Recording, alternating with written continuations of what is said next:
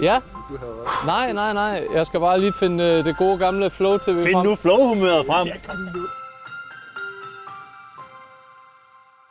Det er vi sørme, det er sandt, det er december, det er det herrens år 2023. Den sidste snart er det i hvert fald, og lige om lidt, der laver vi vores årlige. Julespecial, og vi starter i år i det mest julede, men også rædselsfulde sted, Nyhavn. øh, der er lukket, så man kan ikke få en kæmpe stor våd fadøl, desværre.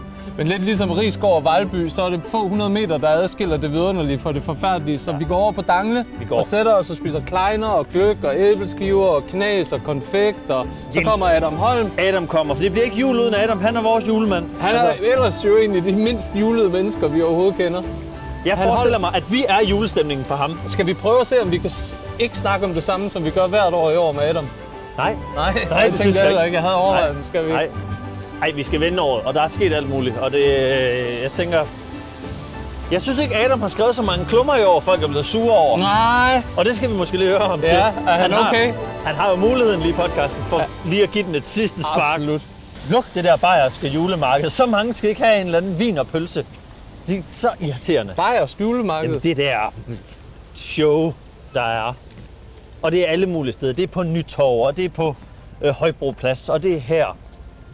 Ha' et og læg det ude på Amagerfællet. Nogen, der til gengæld holder niveau. Præcis. Og skruet op, vil jeg sige, for niveauet. Den smukkeste facade i Danmark i hele december måned. Fru Rimmel, hun har spared no expense. Prøv lige at se. Istapper, juletræer, nissemænd og rensdyr. og- Sokkaner og iglo. Simpelthen så flot. og der var jo mange år, og det er jo også en god måde at måle konjunkturen i Danmark, for der var jo mange år, hvor øh, D'Angleterre havde skruet ned, skruet ned, skruet ned. Til sidst var der fandme bare en, øh, en, en lyskæde, som dem vi har derhjemme, og nu har de skruet op igen. Det går godt. Den er, den er virkelig, den er i særklasse fed i år, det synes jeg også. Det er helt vildt. Det er så, godt. Ja, de har kørt der med lågerne nogle år. Det er altså mere til det der. Det er sådan Den lidt her, en den- American Christmas. Ja, den er sådan lidt mere forlystelsespark-agtig. Stor magasin. Forlystelsespark for, for the 1%. Tror du ikke lige, vi må, må vi ikke lige se, om vi må komme ind og skøjte? Jo, jo, du må gerne.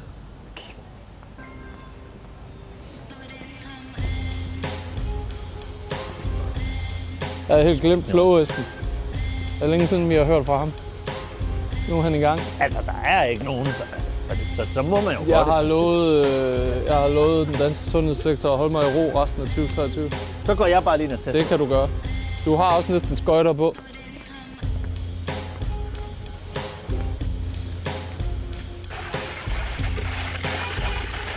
Det er det, skoene skal bruges til. Det er rigtig godt. Det er syvende jul. Det er sindssygt. Altså 10 jule på Dangle, så får man sgu en suite. Ja, om lad os komme ind i en fart. Ja. Vi skal også have rækket til, så det ser godt ud, når Adam Det kommer. skal vi.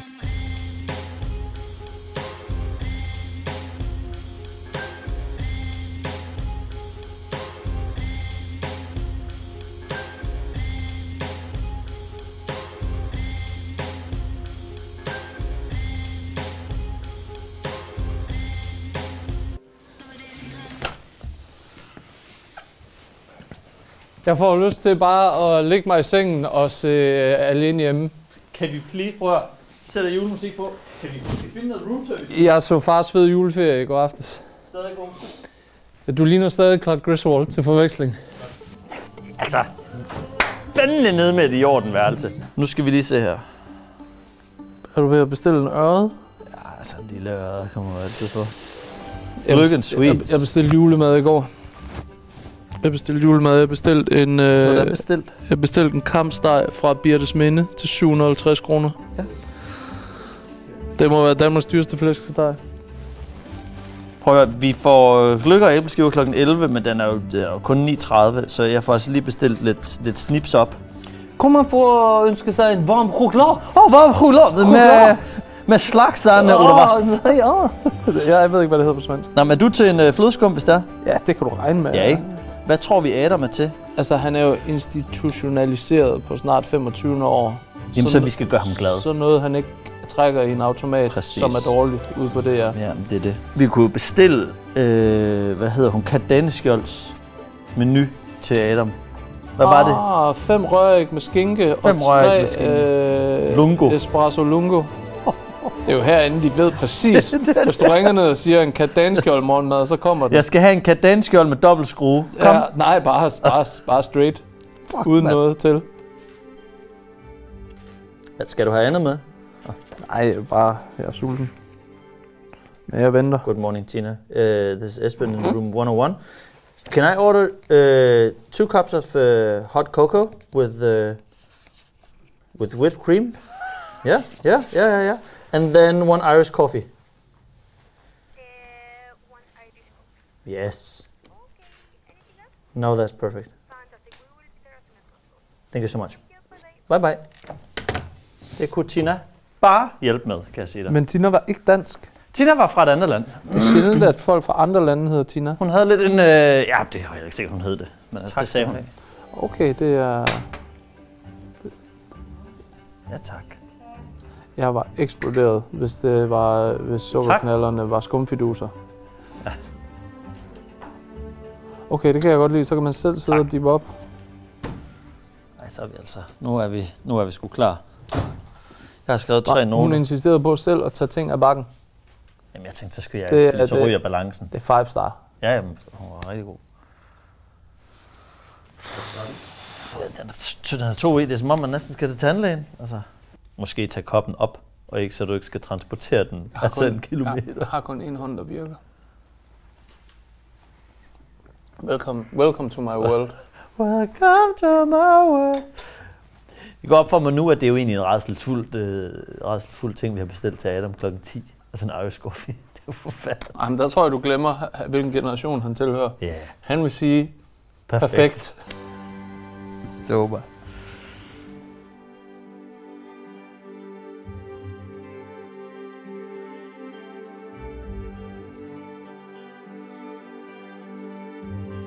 Og, og prøv lige at se, jeg, jeg kommer som Zelenskis øh, lillebror, og I er så, du er så Riz. Hold op, hold op. Du er så Riz. Hold op. Ja. Jeg har lige lært ordet. Det er det, jeg beskrev ham som en slags Indiana Jones, bare glat. Der, der, der sidder Kadirov. Ja, ja. Kadirov Junior. Han er jo vist død. Han er vist død. Nej, han. nej, nej, han, han ses her. Ja, næsten. Apropos Kadyrov. Hvad sker der på fingeren? Jeg har slået min Prøv, finger. at- vi sidder langt fra hinanden i år. Ligesom, Øh. øh, ligesom Putin. Ja, vi har valgt et lidt putinsk setup. Vi har sådan en, øh, vi- har sådan en fransk-russisk øh, setup. Tænker det er okay. Macron, Putin, så sidder vi der. Ej, ej, Zelensky. Nej, han er ikke til møde med Putin, Nej, desværre. det er du ret i. Øh, Nu. Endnu. Var det dejligt at se jer? I lige måde. Der står en halvkold Irish coffee til dig, fordi jeg hørte, du var småsyg. så mener du, det der hjælper. Det har jeg hørt. tager toppen. Jeg, jeg, jeg satte på en... øh, Ja, jamen, jeg øh, er småsløj, men altså, det er alle. I, I ser frisk ud. Vi er nogenlunde friske. Ja, Det, der har mødt... Jeg er ude af, jeg er ude af morfin og antibiotika og penicillin for første gang i øh, 12 dage. Hvad er der sket? Øh, jeg, smadrede, jeg slog mine fingre.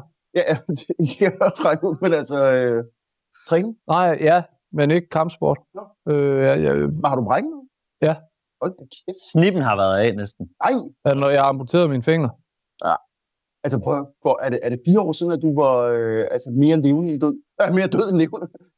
Øh, da du havde sejlet over Atlanten? Ja, ja det der er del Det var- 5, det for det var i også- 18. Det var i november 18.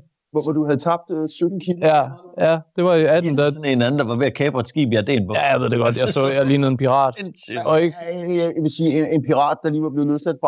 Du jeg vejede Pirat. 20 kilo mindre end nu. Afbildet pirat. Så det er lidt et... Nej, det er ikke et tema, at der er noget i vejen med mig hver gang. Der er altid noget i vejen med mig. Men at der er noget i vejen med mig hver gang, vi sidder her til jul overhovedet. Altså, Mr. Riz. Jeg Hvor- kan Hvad er risk? Hvad er Riz? Hey, ved I ikke? Nej. Det, det, er, det er årets unge ord. Både i Storbritannien og måske også i Danmark. Det bliver afgjort i dag. Kan, er, er man risk, eller kan du være risk? Nej, nej, jeg, jeg er absolut.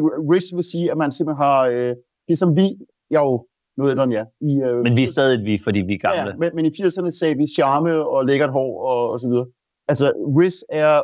Der er ingen eller anden skuespiller, britisk skuespiller, der har sagt, yeah, for Connor Riz. Og så er det åbenbart bare glidet ind i sproget. Uh, det, det står for, at man simpelthen øh, bare har... Har dippet den lidt op? Ja, lige præcis. Okay, sjovt. Det er det nye swag. Ja, ja, ja øh, altså swag tror jeg er kørt helt ud på mødingen, har jeg indtryk. Ja, Ja, men det er færdigt. Nu siger gamle det. ja, nu sikkert. siger jeg, ja, ja. Nu skriver de det over i Berlinske. Skriver Altså, hipster og swag.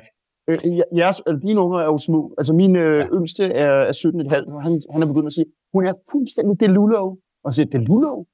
og skal finde ud af, hvad det er. Kender I det? Nej. Delusional.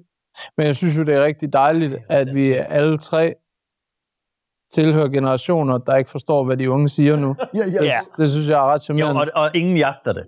Men prøv at velkommen til. Vi kører jo, altså, det er jo den flotteste suite, vi nogensinde har været i herinde. Altså, jeg skulle lige til at sige, øh, hvad, hvad har I gjort den her gang? Det er helt sindssygt. Det er så højt til loftet.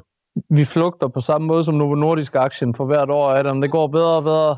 Prøv, prøv, kan, kan I så ikke give mig lidt uh, Wegovy? Fordi, uh, Jeg synes, du ser så smal ud. er det rigtigt? Det- Ja, ja, ja. Okay. Ja. Ej, jeg tror bare, det er dig, det, det, det, Dangle, der har vurderet, at nu har vi kommet her i så mange år, at nu, nu skal vi herind. Nu må vi få det flotte Det værelse. sætter vi rigtig meget pris Ja, det på. er virkelig flot værelse. Hvem- Hvem plejer at bo her? Det er jo rockstjerneværelse. Det er jo der, hvor du kan åbne. Man kan åbne hele længden af hotellet. Okay. Og så har du et langt værelse, hvis man skal bede om det. Og en tilsvarende Og en balkon. ekstra lang balkon. Det er Rolling Stone Suiten, det her. Okay. Så nogen har fart på her, Er nogen af tænker jeg. Det var jo vist i forbindelse med ombygningen, der gik jo lidt våbenkapløb i det mellem Dangleterre og Nimb, fordi Ja. Nimb havde frækheden til at have et hotelværelse, der var dyrere net på Dangle. Ja. Så fik de lavet sådan, at du kunne faktisk booke hele etagen, slå værelserne sammen, og så havde du sådan ligesom Avengers. Altså, så, så var det så var det Danmarks dyreste værelse igen. Hvordan fanden finder I sådan noget? Altså, er det hørensagen, eller? Det er jo sjov historie. Ja, og, og, det, og Thijs, der har lavet jul oh, ja. på Dangleterre. Så på den måde har vi jo også insights der. altså, interesse. Ja. Det er faglig interesse, er det ikke? ikke? Prøv Adam, øh, vi, vi, vi sad lige og talte sammen. Det er jo 6. 7. jul. Vi, øh, vi holder herinde. Det er det, vil sige. Det er jo Så vanvittigt. er det talt sammen. Det er 6. 7. Jamen, vi er ikke helt sikre. Nej, vi, vi var lidt i tvivl om, der måske røg ind under ronaen. Det tror vi Ja, ikke, der det gjorde. tror jeg faktisk også, det gjorde. Gjorde der det? Vi ved det ikke. Det, det, det er jo hen i tågerne. Men Men, øh, Asmund, gjorde der det? Nej, det gjorde enten det er rigtigt, det kan jeg godt huske. Så vi har lavet, vi har lavet en julespecial herinde. Nå, for helvede. Det kan jeg godt huske, hvor vi jink, hvor vi sagde, Ja, ja. så går vi ned sammen. Nå, okay. Nej, det gik. Men, men, men I øh, styrede udenom? Ja, nu kører det. Vi har været her alle jul, siden vi startede, ikke? Ja. ja. Prøv, Adam, vi har lagt din øh, og Jans bog på bordet, fordi øh, vi, vi, skal, vi skal jo lige høre året, der er gået, men for dig. Hva- hva- Hvad for en? øh, Har I den eller den hvide? Vi har den hvide, men vi tog den røde med herind. Så, så du har en granatspil? Det, jeg har en Ja, granatsplint, begge to. Esben har en granatsplint, Okay. og det er... Øh, Og for jeg, havde taget, jeg, jeg var nemlig usikker, fordi jeg havde først taget en... Øh, altså, Esben kan må ikke give noget. går du rundt med granatsplinter i lommerne? Du er så grov. Og den, den vil jeg egentlig... Øh, det er den eneste, jeg har, men jeg vil give den til øh, Falken. Jamen, jeg prøver, du plejer altid at give mig noget. Ja. Altså, øh, Esben, øh, jeg, jeg kan simpelthen... Jeg tænkte først, Nej. hvad kan jeg give ham? Han, øh, for det første tror jeg, du Ja. har en økonomi, som man skal være medlem af Rolling Stones. Nej, Prøv at nej, nej, nej. nej. Ah, okay. Nej. øh, og jeg tænker, altså, Peter, han, han, vi er jo i samme liga. Altså, det er noget med øh, at, at være lidt grovkornet. Ej, altså, du er mere elegant end mig. Vi kan godt lide våben. Ja, vi kan godt lide våben. Ja, det kan vi. Øh, og så tænker jeg, hvad, hvad, kan man give Esben noget? Et slips måske, men du vil grine og bruge det til at hænge dig i? Jeg vil, jeg vil rigtig gerne have, have, have den Adam også, fordi så kan jeg hænge den på træet den her jul, og komme i hu, at der er folk, der ikke har det lige så godt, som vi har det. Ja. Det var pænt af dig, men jeg har fået, jeg har fået særudgaven af jeres bog, og jeg er simpelthen så glad for den. Det er hele hjemmets spiste resistance. Den ligger midt i det hele. Må jeg spørge, har, altså den her bog, som jeg selv, det må jeg have lov at sige, jeg har jo, det, det er min, øh, hvad skal vi sige, femte bog. Jeg er ubetinget stolt af den. Men Det kan jeg fandme det, godt kun, er forstå. det kun din femte bog, Ja, altså jeg har medvirket i flere andre, men Ja, ja. hvor det, det er dit navn på forsiden? er forfatter på. Ja, tak. Øh, jeg, den er blevet, altså, you know why. Men, Ja. men, men den er flået noget under radaren. Alt muligt er blevet aflyst. Men Har den ikke solgt godt? Øh, altså, den har solgt godt på forhånd. Øh, men, men jeg tror ikke, at den øh, har nogen stor øh, eksistens i boghandlerne. From what I hear. Den er jo for stor til overhovedet at ligge i en boghandel. Ja, det er den nemlig. Altså, Det er jo ikke en bog, det er jo en coffee table bog. Altså, det er jo, det er jo et levende kunstværk i sin forstand, det der. Det er jo ikke en bog. Den kan jo heller ikke stå på reolerne hjemme ved folk. Den skal ligge et sted, ja. det, det har du hvor folk kan se den. Og den- den er svær. Altså for min del, nu er jeg lige lidt navlepillende, altså som ham, der har forfattet Ja, bogens kapitler, vil jeg sige, altså hvis jeg, øh, hvis jeg skulle være sådan helt forfængelig, så skulle jeg nok have udgivet øh, mine tekster på en anden måde. Fordi de, de drukner i den der. Altså, de drukner i Jans fantastiske billeder. Og så kan man sige alt muligt om Jan, som der bliver sagt, øh, og hvor han jo også har været ude og undskylde sig, og, øh, og bliver nødt til at kigge ind af. Men hans billeder, synes jeg simpelthen ikke, man kan sætte. Nej, overhovedet ikke. overhovedet. Vi har snakket meget om det der. Jan er arguably verdens bedste krigsfotograf, der stadigvæk trækker vejret på den her jord. Og den måde, han dokumenterer ting på, det, nu er jeg jo om muligt mere farvet, end du er det, fordi jeg holder rigtig meget af Jan. Og jeg synes for mig, der er Jans billeder er... Man har altid sådan nogle skalaer ud fra, man vurderer, hvor meget man godt kan lide ting og sådan noget. For mig, der er det toppen af kunst, fordi det kommer fra virkeligheden. Det er ikke bare en eller anden, der har stået på et syretrip foran et lærred eller sådan noget. Jeg synes, Jans billeder er det vildeste, der findes i verden. Ja, jeg, jeg er meget enig. Der, Jeg synes kun, dine tekster gør bog. Altså, jeg synes kun, det, det at det ikke kun er, er den råhed, der er i Jens billeder, men at der også er dine ord til det. Jeg synes, det der det er årets ikke kun julegave, det er tæt på et pligtkøb. Nå, okay. Øh, altså, Vi skal nok gøre, hvad vi kan for, at, øh, Vi skubber. Vi at den ryger ud. Men, men igen, jeg tror også, I bliver nødt til at ændre jeres opfattelse af, hvad det er, I har lavet, for det er ikke en bog. Nej, altså, hvad, hvad kalder du det så? Så jeg vil sige, jeg har lyst til, om det, og det er måske for at holde det lidt i sådan en militær jargon, det er jo lidt et manifest. Det bliver jeg faktisk helt ret i. Øh, selvom det tit klinger meget negativt, men det synes jeg, det er. Lidt tunge konnotationer. Ja, Ja. ja. men det er ikke en bog. Det, det er noget helt andet. Det er noget, også fordi der er mange, der, har, der, der ligesom brander sig selv ved at have en, en, en bogreol med bestemte ting på, på hylden. Men det er jo de færreste, der har gæster, hvor folk så demonstrativt går hen og hiver en specifik bog ned og begynder at bladre i. Det der, det er sådan en, når du har gæster, de går ind, ej, her bor du pænt, og godt at se dig. Hvad er der sket med dine fingre? Hvad er det? Og så står de, og så kender du det, så mister du dem i 5-10 minutter, hvor de står og bladrer i det. Rigtigt. Så det er noget andet. Så jeg synes, det er et kunstværk. Han har fået... Altså, noget af det er jo med rette kritik. Altså, kan man sige, for nogle historier, som mm. Enten øh, slet ikke har fundet sted på den måde, eller hvor han har en unøjagtighed. Kommer an på, hvem kritikken kommer fra. Ja, ja, præcis. Men- Men, men der er nogle, nogle øh, hvad skal man sige, eksempler for eksempel øh, fra Afrika. Ja.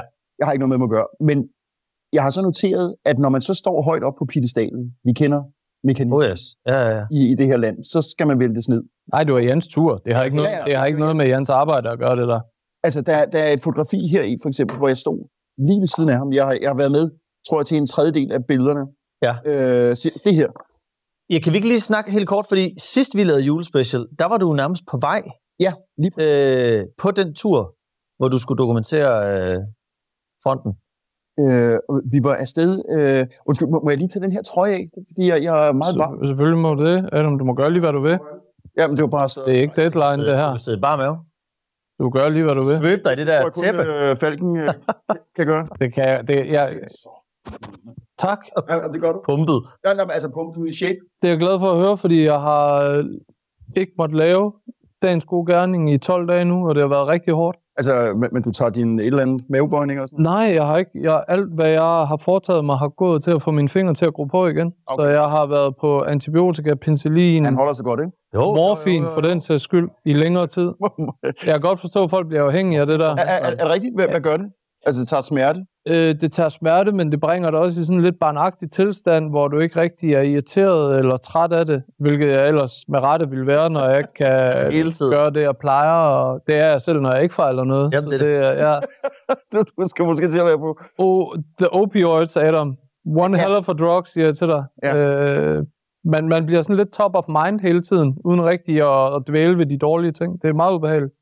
Nå. Og det er super dejligt jo, men det er ubehageligt at tænke på, at Men folk altså, bliver man afhængige. bliver ikke øh, påvirket sådan øh, skæv. Nej, altså de, de, der, de siger med, at jeg har ikke måttet køre bil, så jeg har jeg er blevet en chauffør rundt, hvilket jo er ret fedt. Men jeg tror, det er sådan en, øh, og sikkert med rette foranstaltning, man bliver lidt døsig, men ikke sådan, du mærker det. Nej, Altså, det er ikke sådan, som om du har drukket, du ved ikke, to Lumumba og et eller andet. Nej, undskyld det gør ikke noget, men jeg er glad for, at du selv dykker i den. Vi havde faktisk håbet, at du ville læse en lille passage op.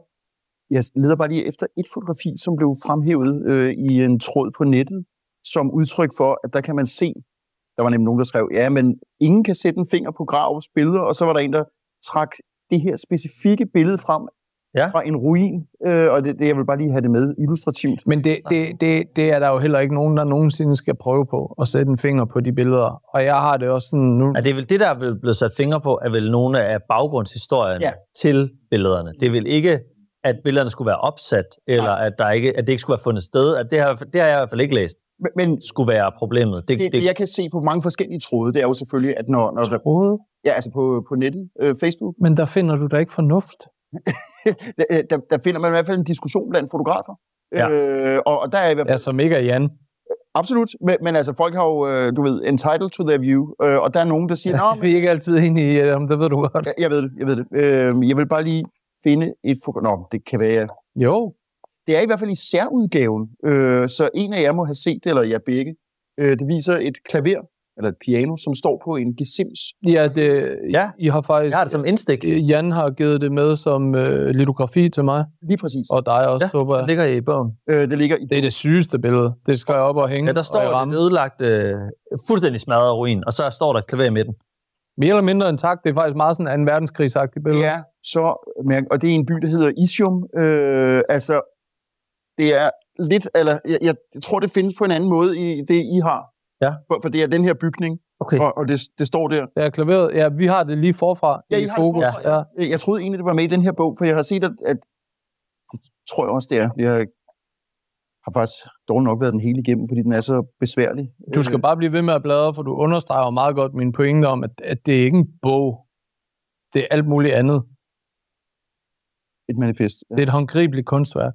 Øh, men lige præcis det billede der er blevet øh, kritiseret, så nogen siger, men der kan I bare se.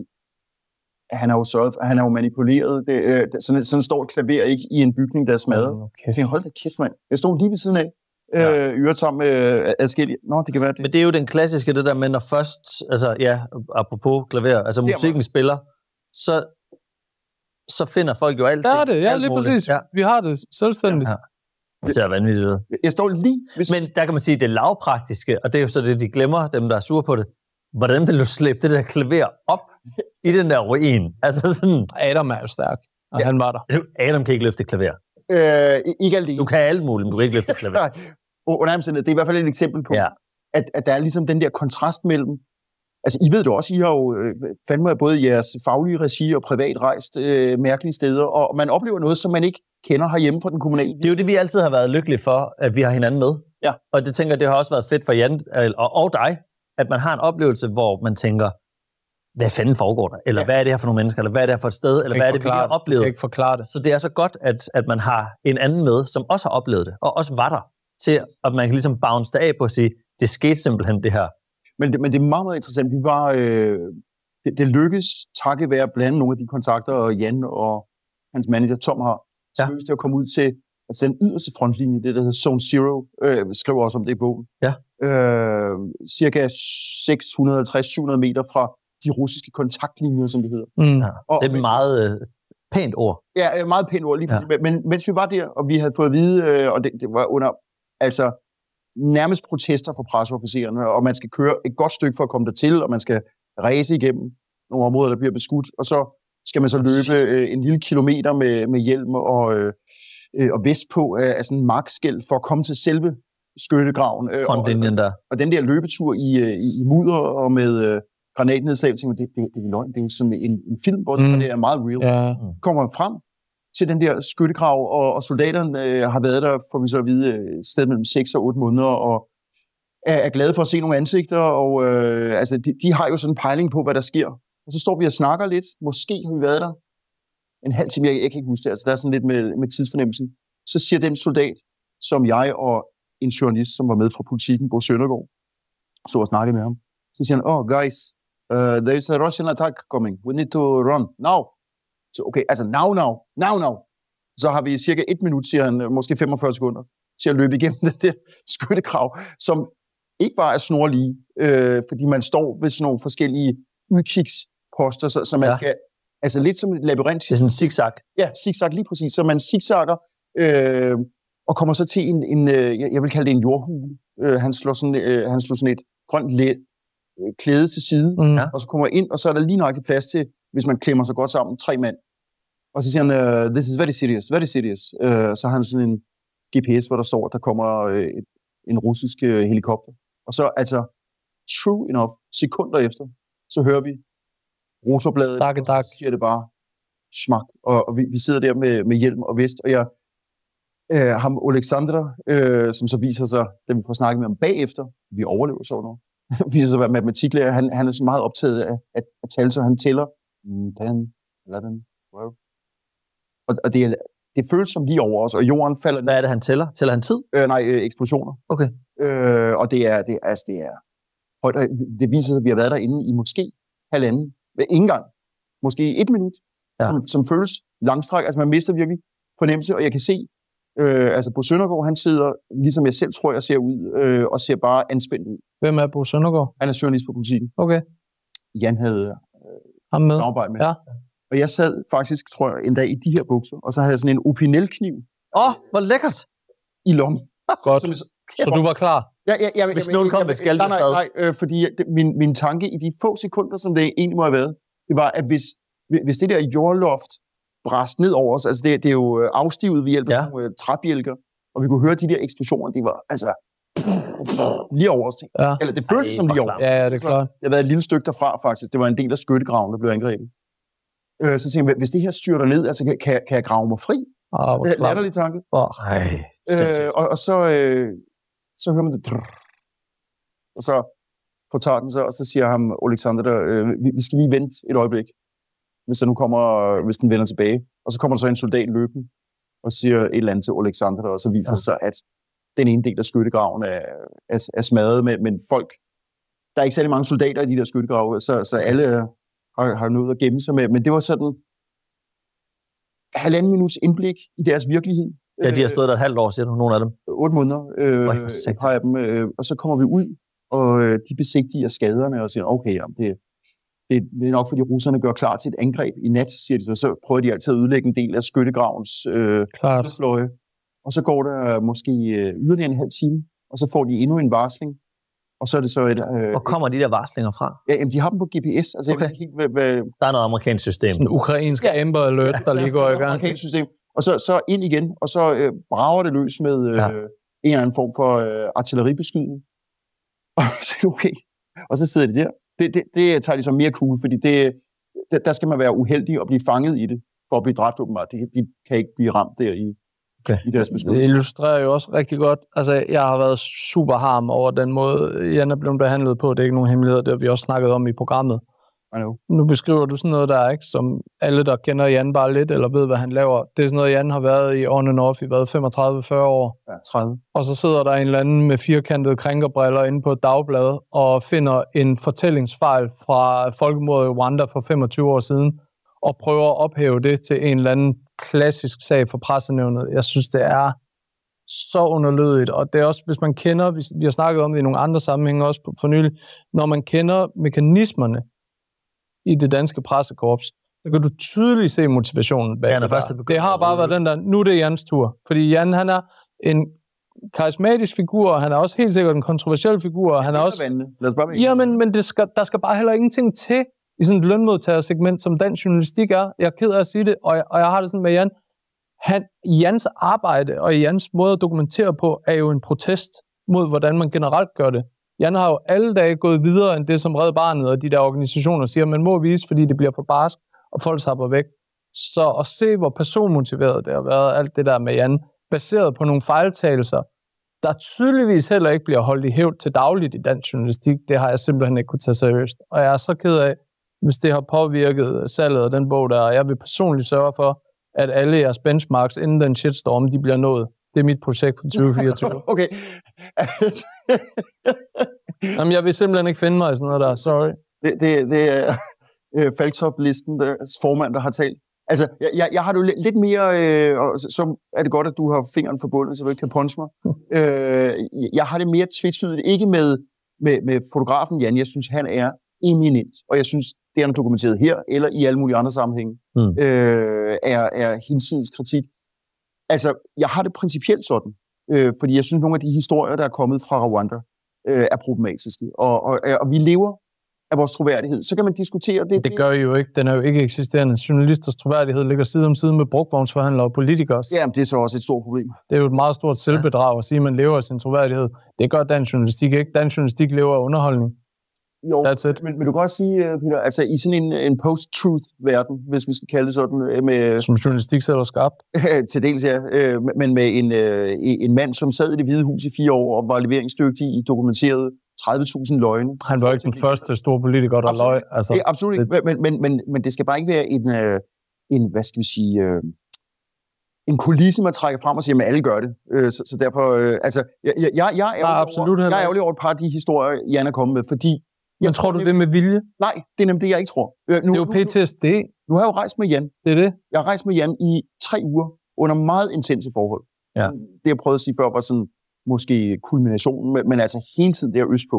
Altså når man kommer øst... Altså grundlæggende er man vel bare i sådan alarm ja, hele tiden. Det, det vil jeg sige. sådan et sted altså, øh, og, og, Peter har jo ret i, øh, at det er så en virkelighed, som Jan Grav har befundet sig i. Selvvalgt, det, det er klart, han har ikke udkommanderet med pistolen for panden, men, men det, det har været og, og er hans professionelle undersøgelse, hans livslange undersøgelse. Hvad, hvad gør krig ved mennesker? Ja. Øh, og det har han dokumenteret, og, og han er- er selv mærket af det meget tydeligt. Men når man kommer øst, et stykke øst for Kiev, så melder krigens virkelighed sig virkelig. Altså, øh, Kiev er også blevet angrebet, og det samme er områderne vestpå, men, men østpå, altså jeg har aldrig set, og jeg har trods alt nu øh, også været i andre krigsramte lande, øh, Syrien ikke mindst, og Libyen. Jeg har aldrig set noget, der var så ødelagt. Altså det var simpelthen som at åbne en historiebog om 2. verdenskrig. Det det. Det ser jo helt pulveriseret ud, når man ser nogle af, af billederne. jeg, jeg, jeg, var, øh, altså jeg har været i Ukraine to gange før under krigen, men, men, kun Kiev og vestpå, og set de enkelte ødelæggelser, der var der. Ja. Ja. Og talt med alle, at alle er præget af krigstilstanden. Og da vi kørte afsted, vi var jo i, øh, i Jan og Toms bil, så talte de om, for de havde været øst. Vel ikke 2CV1. ikke to til Det havde været for sindssygt, hvis de var rullet til fronten i en 2CV. De havde en, øh, Der har man altså en god film. de havde en lille van med, med, med faktisk en lille seng og en, og en kogeø. Og sådan. ja. Øh, men da vi rullede der østpå, så øh, kunne jeg jo godt se, hvordan ødelæggelserne startede. Og, og i øvrigt, mens vi kørte ud af Kiev, ja. Ja. så vi altså røgsøjler, der stod op fra steder, der var blevet ramt. Ja, ja. Øh, og så kommer vi til det, som, som altså fra Kharkiv og hele vejen østpå, 1200 km. Total destruktion.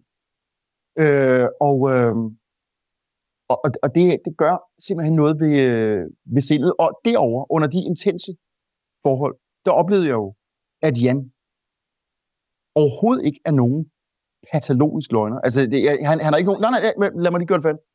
Fordi det er noget, der bliver... Hvad skal vi sige? Det kommer ikke frem i debatten. Fordi hvis, Nej, der er aldrig plads til nuancer. nej, lige præcis. Hvis man prøver at ytre det her, jeg har gjort det nogle gange, så får jeg at vide, jamen du er en apologet, eller du er bare ude på at sælge Ja. bogen, og så siger jeg, men prøv at høre, er det ikke det, vi undersøger som i øvrigt i den verden, vi er som journalister? Vi skal altid prøve at nuancer og mellemregninger. Mm. Jeg har oplevet Jan under meget intense forhold, fire-fem mennesker sammen, have en lidt anden opfattelse. Han, huskede for eksempel, det var to kamphelikopter, der angreb os der i skyttegraven. Ja. Og Bo Søndergaard sagde en. Jeg sagde det selv, øh, fordi jeg hørte det fra soldaten. Jeg så den jo ikke, jeg kunne høre den. Mm. Øh, og, og, og Tom siger en. Og det er ikke fordi, at Jan, tror jeg, sidder og digter. Han, han havde fået indtryk af, og og det var vist det, den soldat, han var sammen med, havde sagt, at der var nok to. Så har han ikke notesbog. Det vil sige, at vi, vi kører rundt i uh, den her altså sump af, af- stednavne, og, Ja. Klart. og, og Jan Ja, du- rundt i det. Men, men det vil sige, at det bliver så til i de der små øh, panippengrøns øh, pegefingre, så siger jamen, prøv at se, Jeg bare se. han siger, I var i Kharkiv, mens I i virkeligheden var i Isium, og Jan er sådan en, okay, altså, Det Jamen, hele er ødelagt. det er, også, det, Ja. det, jeg mener, det er, at for det første, en ting er, at der ikke er plads til nuancer.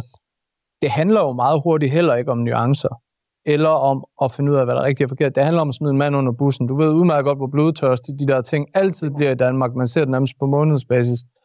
En anden ting er jo også det der med Janne, og det kan jeg også høre på dig, det er jo interessant, det har jeg ikke tænkt over før nu, at Jan er jo også i den situation, fordi han er så unikt dygtig, som han er, at han tit ender med jo både at være fotograf, men også formidler på samme tid, tit og ofte, hvis du ikke lige er med. Og netop når man ikke lige helt nøjsomt sidder og noterer, var der en helikopter, var der to helikopter, sådan og sådan og sådan. Vi kender det jo alle sammen, når Jamen. vi genfortæller en vild oplevelse. Og det er uden PTSD. Tit og ofte, så flyder tingene lidt sammen, og så bliver en ting til noget andet i det, man fortæller det. Og der, der tror jeg også, at det jo måske spiller meget ind i, hvordan krigshistorier de generelt bliver fortalt. rigtigt, Peter. Og, og den nuance, den mangler jeg bare, fordi jeg sidder jo, jeg, jeg, så selvfølgelig, jeg, Jeg er tror, også... at hvis du gennemgik alle folks krigsreportager, vil der da være... Jamen, og, det, og det er krigsreportage. Altså, hvis, du gennem, hvis, prøv, prøv, hvis du lavede den form for øh, efterresearch eller efterkritik mm. på Jans fortællinger, på al journalistik, hvor tit har du ikke læst noget, hvor du selv var der?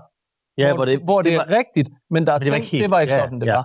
Der er der ikke nogen, der løfter et øjenbryn. eller Der er der ikke nogen, der er. løfter et øjenbryn. Og det er meget, meget interessant. Jeg snakkede med forfatteren som Book Swinty, Ja. har skrevet om 1864-krigen. Øh, og ja, han har lavet mange bøger. øh, lavet mange bøger. Skidegod historiker og journalist. Og han fortalte mig, at han har kigget i de originale øh, militærfortegnelser, altså hvordan danske officerer oplevede øh, stormen på Dybøl. Ja. Og altså, tre officerer, som har stået næsten skulder ved skulder, Ja. har tre forskellige optegnelser. 100. Men det er det. 100. Hvis man spørger 10 mennesker, så er der jo 10 oplevelser Og af noget. både fordi den ene kigger til venstre, den anden til højre, så ser man det forskelligt. Men, men, Ja. de har simpelthen også, øh, hvad kan man sige, en forskellig psykologisk habitus. Øh, en er fuldstændig lammet af angst, øh, og kan selvfølgelig ikke skrive det, for det kan man ikke i en, Det er klart. i en militærrapport, men, men det går ligesom igennem, at det har været det frygteligste. En anden er blevet vagt i sin patriotiske øh, ildhu. Ja. Øh, og, og, og sådan er det også. Og jeg oplevede det jo altså, simpelthen på tæt hold med, med Jan, og i øvrigt også med de to andre. Mm. Altså, det er ikke de helt samme historier, Nej. de samme detaljer, man lægger mærke til ved middagsbordet. Når man Nej, og jeg tænker, hvis der så også kommer en, en tidsfaktor, at fra I er der, til man kommer hjem, til det skal skrives ned, og der skal laves, lad os sige, Jan har det jo mest været billedtekster for eksempel, eller, eller sådan følgende historier. Hvis du så skal have det på bagkant, altså, Så det er jo bare vildt svært at, at have de der detaljer fuldstændig præcis. det er ikke stress, men det ringer på her på Jeg, jeg tror, vi har Copenhagen. 101. Helen er på. Du mødte Helen? Ja. Tysk? Aus Deutschland, aus Ja, ja. Kæmpe, Og- kæmpe signing her i firmaet. Kan jeg love dig for? ja, men altså, vi er, er talt så godt dansk efter... Det er helt Ja, hun er sindssygt. så god. Hun er jo Det er helt altså, hun er sindssygt. over prins Henrik. Det var Hovedet i tre år. Men det, og hun siger, hun først begynder at snakke dansk i år. Ja, hun startede på dansk kursus. Jeg, jeg, jeg sagde, jeg sagde nu, snart, nu, nu begynder vi at tage den på dansk. Altså, Det kører. vi har den Deutsch miteinander gesprochen. Ja, men det, vil hun, Altså, det prøver jeg også til, men så slår hun over på, på dansk. Også det er som om tysk er et meget julesprog. Ja. det, helt, det er sådan, der, det er sgu næsten julemanden. Prøv, jeg, jeg er virkelig glad for, at vi bare sprang ud i det med de der, også fordi det eneste formål med at lægge bogen der, det var bare at sige tillykke Ja, og, og tak for den. Prøv, Peter, I har været, eller Ej. har, været, er Wonderful. en helt Selvfølgelig. støtte. Selvfølgelig. øh, Og prøv at høre, jeg tænker, vi, vi, vi kan jo gå lige til den næste redselsfulde konflikt, fordi jeg tror, hvis man gik uh, Gaza-Israel-konflikten igennem, må ikke der også er, og det kan vi jo se hver dag, forskellige oplevelser af, hvad virkeligheden er. Er du klar til og det der er jo ikke, jeg Er du tænker, klar til det nu? ja, fordi gløggen kommer. Kan vi ikke lige tage fem minutter inden? Kan vi tage noget, noget hygge? Og snakke om misinformation? Thank you so much. Thank you so much. hvor, hvor meget træner? Nul, fordi jeg har lige fået sat min finger på igen. Altså, øh, før. Ja, altså, får du hørt din... Øh, tak. Øh, ja, den, den bliver siddende på. Okay. Vi kører hvid gløgg i år. Ja, und- undskyld, jeg har siddet der og, og bare snakket. Øh, Åh, oh, ja, please. Ej, men Pep, bare, jeg siger dig, Adam, at Peter har været, altså han er kommet af med sin fortælling om fingeren jo. jo, jo, men, altså, øh, hvad skete der? Jeg tabte en tung håndvægt ned over den på sådan oh. Ved du hvad? Sådan en freak-ulykke, ligesom når du hører, at Tak. en, der har stået ved samlebåndet much. på en fabrik i 30 år mister armen. Ikke noget, jeg kan lave tusind gange før. Ikke noget vildt. Bare sort uheld og øh, en tung håndvægt og en skæv vinkel og et øjebliks uopmærksomhed. Og Og, så, hvor, mange kilo taler vi om? den var øh, 30. Ej. Men det var ikke så meget det. Det var bare, den, Så. den kom, øh, du ved, den kom i klemme. Og sådan helt åndssvagt. Øh, det Bare, bare et, ved du hvad, øhm, det eneste jeg vil sige, fordi ja, apropos, øh, der er jeg jo en anden Grav, hold op, jeg har fortalt den historie mange gange, og den ændrer sig lidt hver gang. Jeg har begyndt bare at sige, at det er, og det er det eneste, jeg har gjort mig tanker om, det er første gang i mit liv, Tak.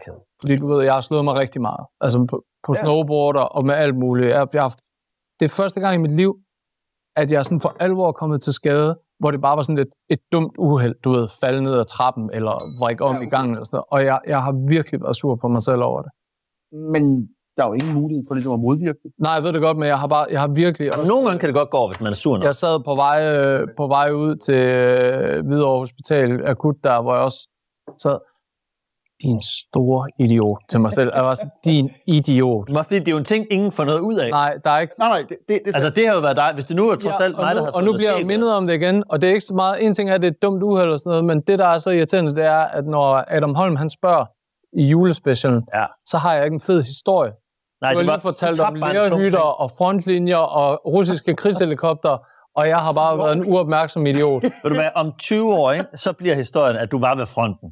Men, men, Og der Ja, altså, sprængt der af. skal du se en historie. Der, altså, den her, det skete... Ved du hvad, jeg løb rundt i Helmand, Ja. øh, og jeg, nej, jeg, Så skal men, men, men er det ikke, fordi du starter forkert? Så skal du simpelthen starte med, fordi det, det har været meget blodigt. Det kan jeg jo forestille mig.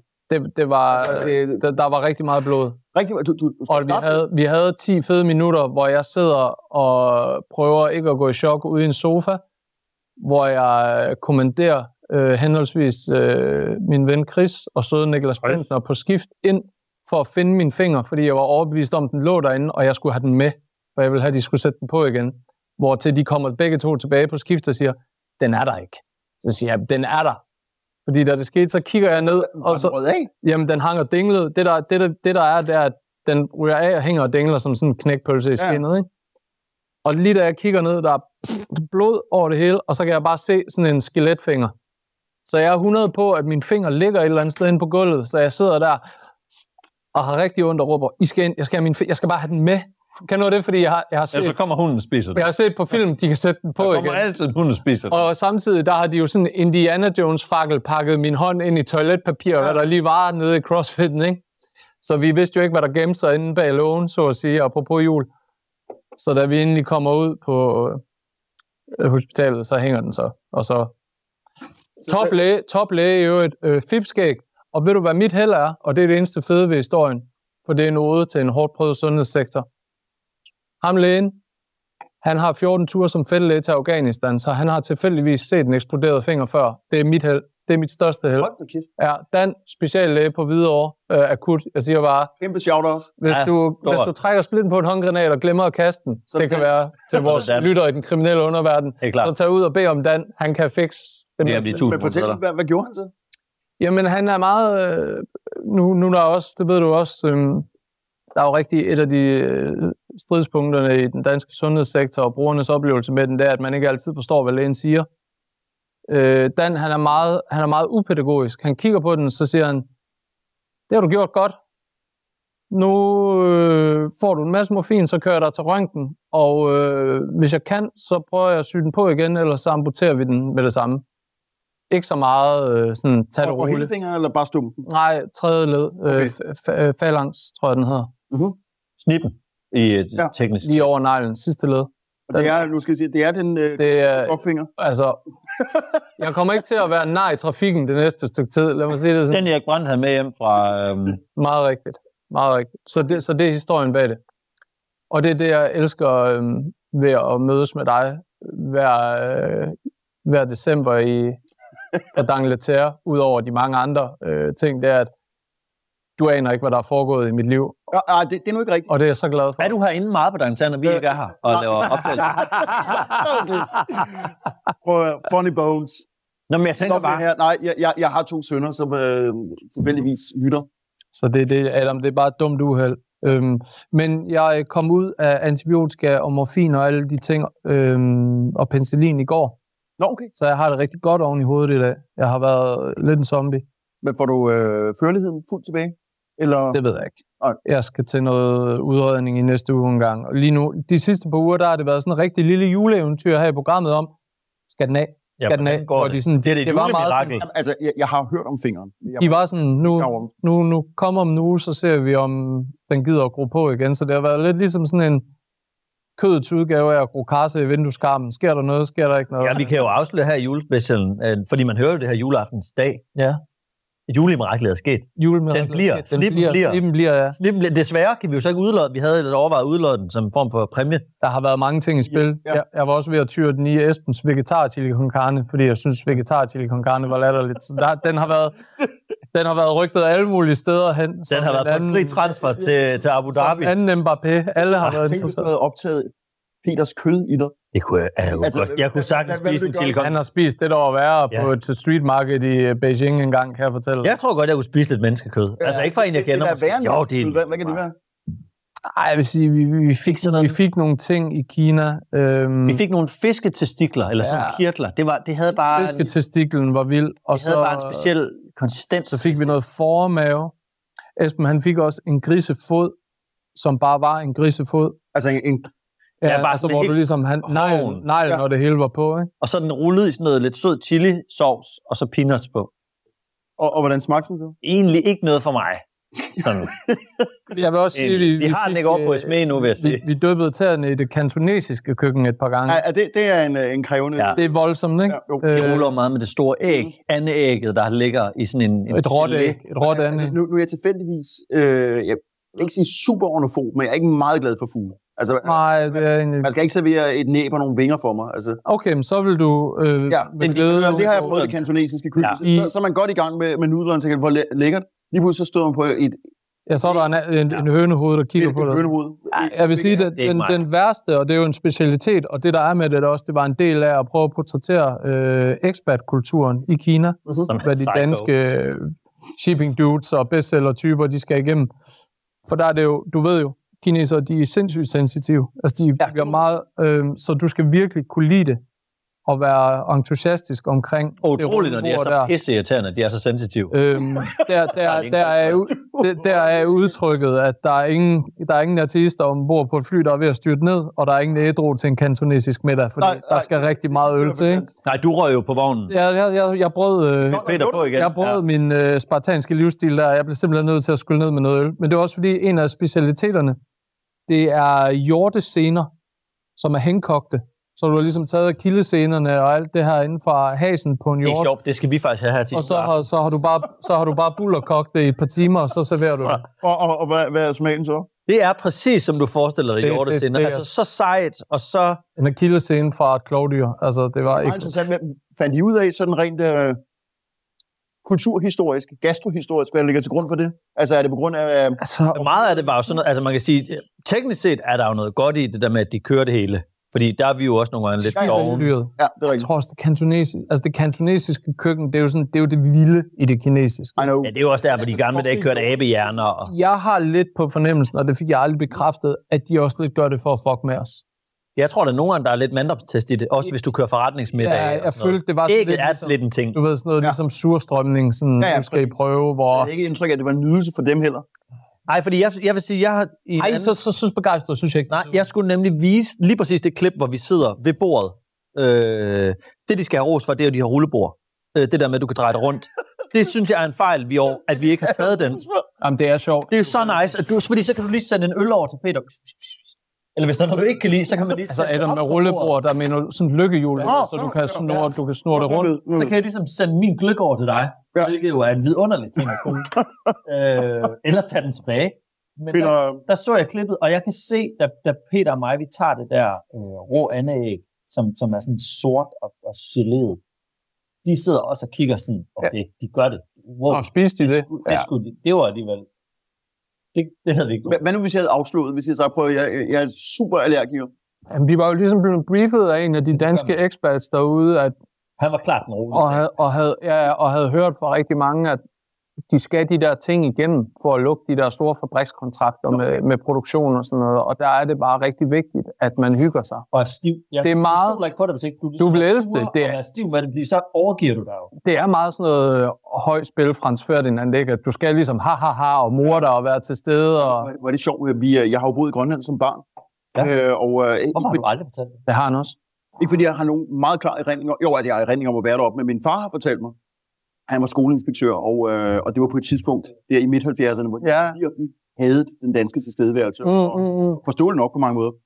Øh, så, så blandt andet for at teste, og, og min, mine forældre var, hvad skal vi sige, den kategori, man kunne kalde do-gooders, Ja, meget om venstreorienterede. de mente det. Og de mente det, og de Ja. ja. synes, øh, og min far kørte hundeslæde og gik på jagt, og ville gerne være en af grønlænderne, for ligesom at vise, Ja. at han ikke var Han kom ikke op for at tvangssterilisere nogen. lige, lige præcis. Øh, og, og noget af det, der så, apropos jeres kantonesiske oplevelse, øh, på en måde blev, blev øh, riten eller optagelsen for ham, det var blandt andet, han var med på sælgejagt Ja, med, med fangerne, og så øh, tog de øjet ud.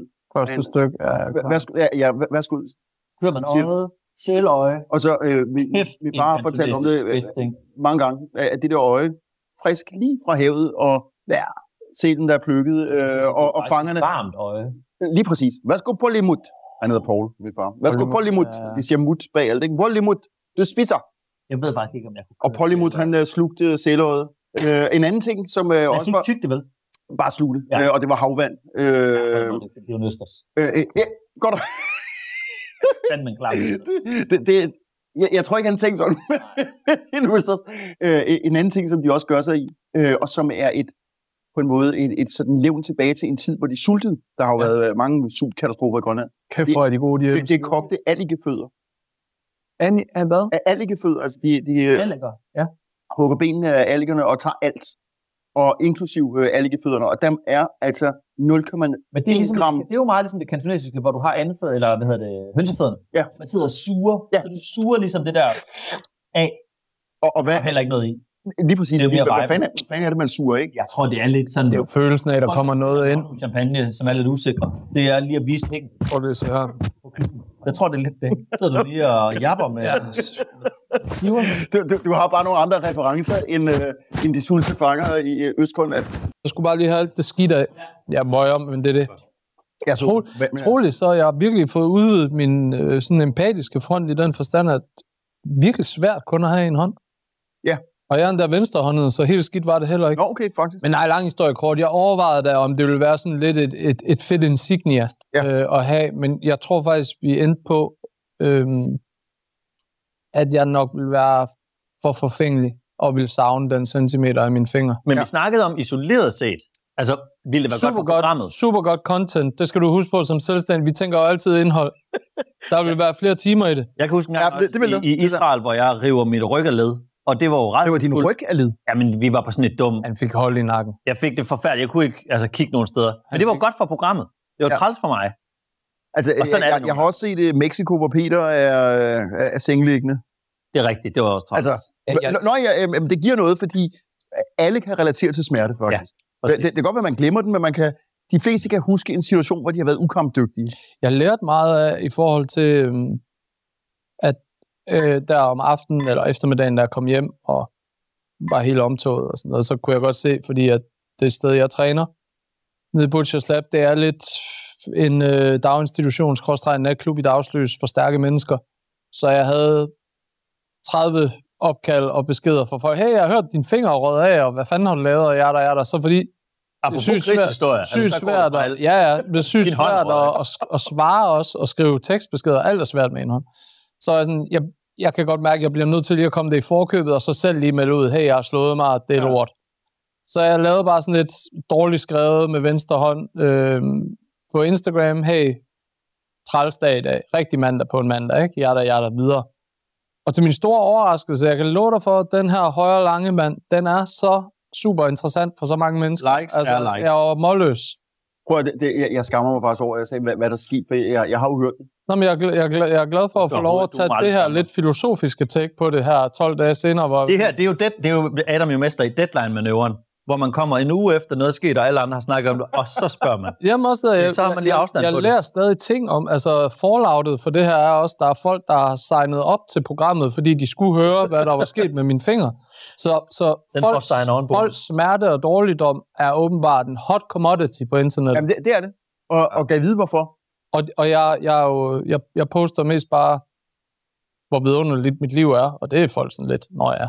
Men når jeg slår mig, og, og mine fingre ryger af, er du gal, så er der gul bjælke af dem. De Men, er men helt det er jo det, der, vi, Men- vi men- kan relatere til to slags indhold. Bare det var mig, eller godt det ikke er mig. Lige præcis. Og bare det var mig, den er lidt, Ja. den har ikke nogen nyhedsværdi Nej, her nej. længere. Så nu er det, Godt, det ikke er mig, anime øh, stærkere. Det er næste, gang, næste jul, så Det er- skærer vi mit ben af, eller et eller andet. Den folk, store kollektiv angst at blive kastet Ja. af karusellen og ikke være i stand til at levere. jamen, jeg har måttet følge op. Jeg har også været sådan, tusind, min, min lange finger vil gerne sige tusind tak for omsorgen og empatien og opmærksomheden. Der. Ja, hvor vimmer den her gløk er god. Det var godt, den fortjener du. Har du lagt mærke til, og det Drikker jeg jo... Øh, Jo, jo, jo. Jeg har bare lige haft travlt med at få øh, æbleskiver af tøjet.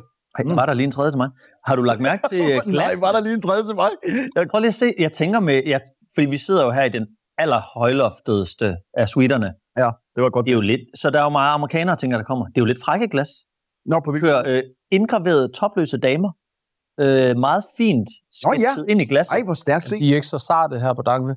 Det er jo, Ej, det er jo, stor- det er jo snedronningens stor hvide gløk, Adam Dangleterre-gløkken. Den er jo, altså, Nej, han tager, jeg jo ikke noget til dig. de er jo så, de er så gode, de ikke gider at stille op til DM i gløk. De er ikke, altså, det er Okay. unødvendigt. Prøv lige, Adam. Øh, Jeg har den uofficielle mester. Ja. Hvor- hvordan har, har dit øh, 2023 været? Fordi vi snakkede lidt om, inden du kom. Det plejer vi at starte med jo. Ja, og vi snakkede om, at der har ikke, du har ikke ligesom lavet en eller anden øh, klumme eller udtalt dig, eller sagt noget, hvor som ligesom fik dig i, i problemer. Hvad jeg i hvert fald har, har, har kunne læse eller se. Så er du okay? Eller skal vi sige noget nu, hvor du kan komme lidt Ja, Altså, jeg, jeg, op og flyve? jeg, jeg har skrevet ret mange klummer, men, men de er alle sammen, ja, fordi jeg skriver for Berlinske. Det ved vi. Øh, men, men de handler alle sammen om Ukraine. Altså, mit 2023 har stået i Ukraines tegn og været et... Altså, jeg har aldrig haft et så hæftigt år nogensinde i mine 54 år. Hvad ligger der i et hæftigt år? Jamen, jamen, altså et, et år, som har budt på, øh, fordi jeg har også haft mere at lave på arbejdet end nogensinde, og så skulle skrive bog ved siden af. Øh, et år, altså de der tre uger i Ukraine, hvor det var en 17-18 dage ved fronterne. Øh, og jeg mener, jeg, jeg har været det i, i, krigsområder før, og har oplevet også at blive beskudt og set Ja, du har da fortalt om mennesker. tur Øh, til Syrien. De, der, de der 16, 17, 18 dage, hvor meget det er, jeg har mistet tidsfornemmelse, øh, er, er, stadigvæk altså det mest hæftige... Øh, al- altså, fordi det, det er hver dag, og jeg, jeg bliver ved med... Altså, jeg, jeg, kan, jeg har været ude og holde nogle foredrag, og, og på bestemte tidspunkter får jeg simpelthen, ikke fordi jeg planlægger det, men jeg får sådan grødet mæle og, og, og, og tårer i øjnene, fordi jeg bliver simpelthen så rørt af, at det der lille indblik, vi får, I kender det selv, når I er ude i reportagesammenhæng, man, man, man får lige et indstik i nogle menneskers grusomheder. Ja, men man har sit pas, så man kan Man har stryge. sit pas og sin øh, hjemrejsebillet, ja. eller her skal man så køre hjem. og jeg kan mærke det der med, at det er deres hverdag, dag ud, dag ind. Ja, det er for sindssygt. Og nu er det jo en krig, som altså for et år siden rendte alle rundt og sagde, Slava Ukraini, og havde blågul flag mm. på screensaveren og øh, gik til demonstrationer. Hvad er der over likes i det? Der var likes i det. Øh, Nu er, er der kommet den der krigsfatigue, krigstræthed. Ja. Øh, Der kommer en sequel jo i Mellemøsten. Den er mere populær. Den originale krig. Det er en mere Og- woke-krig. Fuldstændig, og så begynder ja. der at komme øh, Ja, ja. om Arme Zelensky, er han alligevel også vores tids øh, øh, Churchill, og Ja. ja. ah, men måske er han også en antidemokrat, og Det sker for alle, hvis de er populære i lang nok tid, det der. fuldstændig piedestal, altså... Krig og fred sammen. Vi snakkede lige om det der med i, programmet i, går, tror jeg, at, at nu var det kommet der til os, at, at generalerne var begyndt at gå til Time Magazine Ja. og brokke sig. Og, Præcis. og, altså, og fyre dem af, men det, men det viser jo også noget om, hvor langt det er kommet, fordi det der med i starten, er det jo, så det bare, virker det som sådan en fuldstændig fasttømret fælles front, både bogstaveligt talt og billedligt talt, Ja. hvor nu kan man godt mærke sådan, at det er nok ikke alle, der tænker, at det bare bliver altså sejrsparader gennem øh, Krimhaløen. Men, men prøv at se, der, der er et billede af en... Øh, Jan har taget, synes jeg. Det vildt, når Man du må- fortæller det, Adam, om de der øh, skyttegrave og sådan noget. Det lyder, nu, jeg tror, der var, jeg kom til at lave en, øh, med klaveret en anden verdenskrigsreference. Det lyder jo som sådan noget første verdenskrig, sådan noget 1917. Prøv lige at Altså, hvor forklare du jer. ligger få 100 meter fra hinanden i skyttegrave. Det lyder så primitivt. En skyttegrav. Prøv lige at, at, at fortælle, hvordan... Hvad er en skyttegrav? Altså, jeg er med på, at det er noget, der er gravet ned. En grøft. Ja, og hvor, hvor, høj, hvor langt står du? Altså, jeg, jeg tror, øh, du kan se, øh, de her er, er altså, det, de er mandshøjde, og som jeg husker netop de to, så er de lidt højere end mig. Så de er nok, Så den er et par meter dyb. jeg, jeg jeg er 1,77, så de er nok, ja, den er et par meter dyb, og øh, de Ja. er lidt højere end mig. Øh, og så øh, den her pågældende skyttegrav, hvor jeg kun så, eller vi kun så, et udsnit var angiveligt 700 meter lang, og øh, bevogtet af 16 soldater.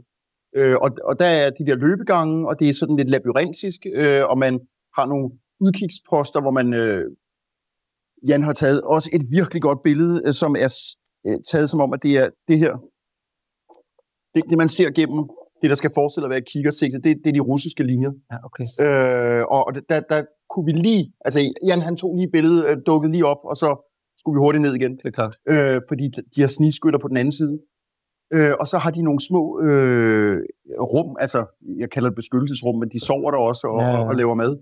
Øh, og så, Så aller jordhulen, du stod så, som er jordhulen, Ja. og, og dem var der vist fem stykker af.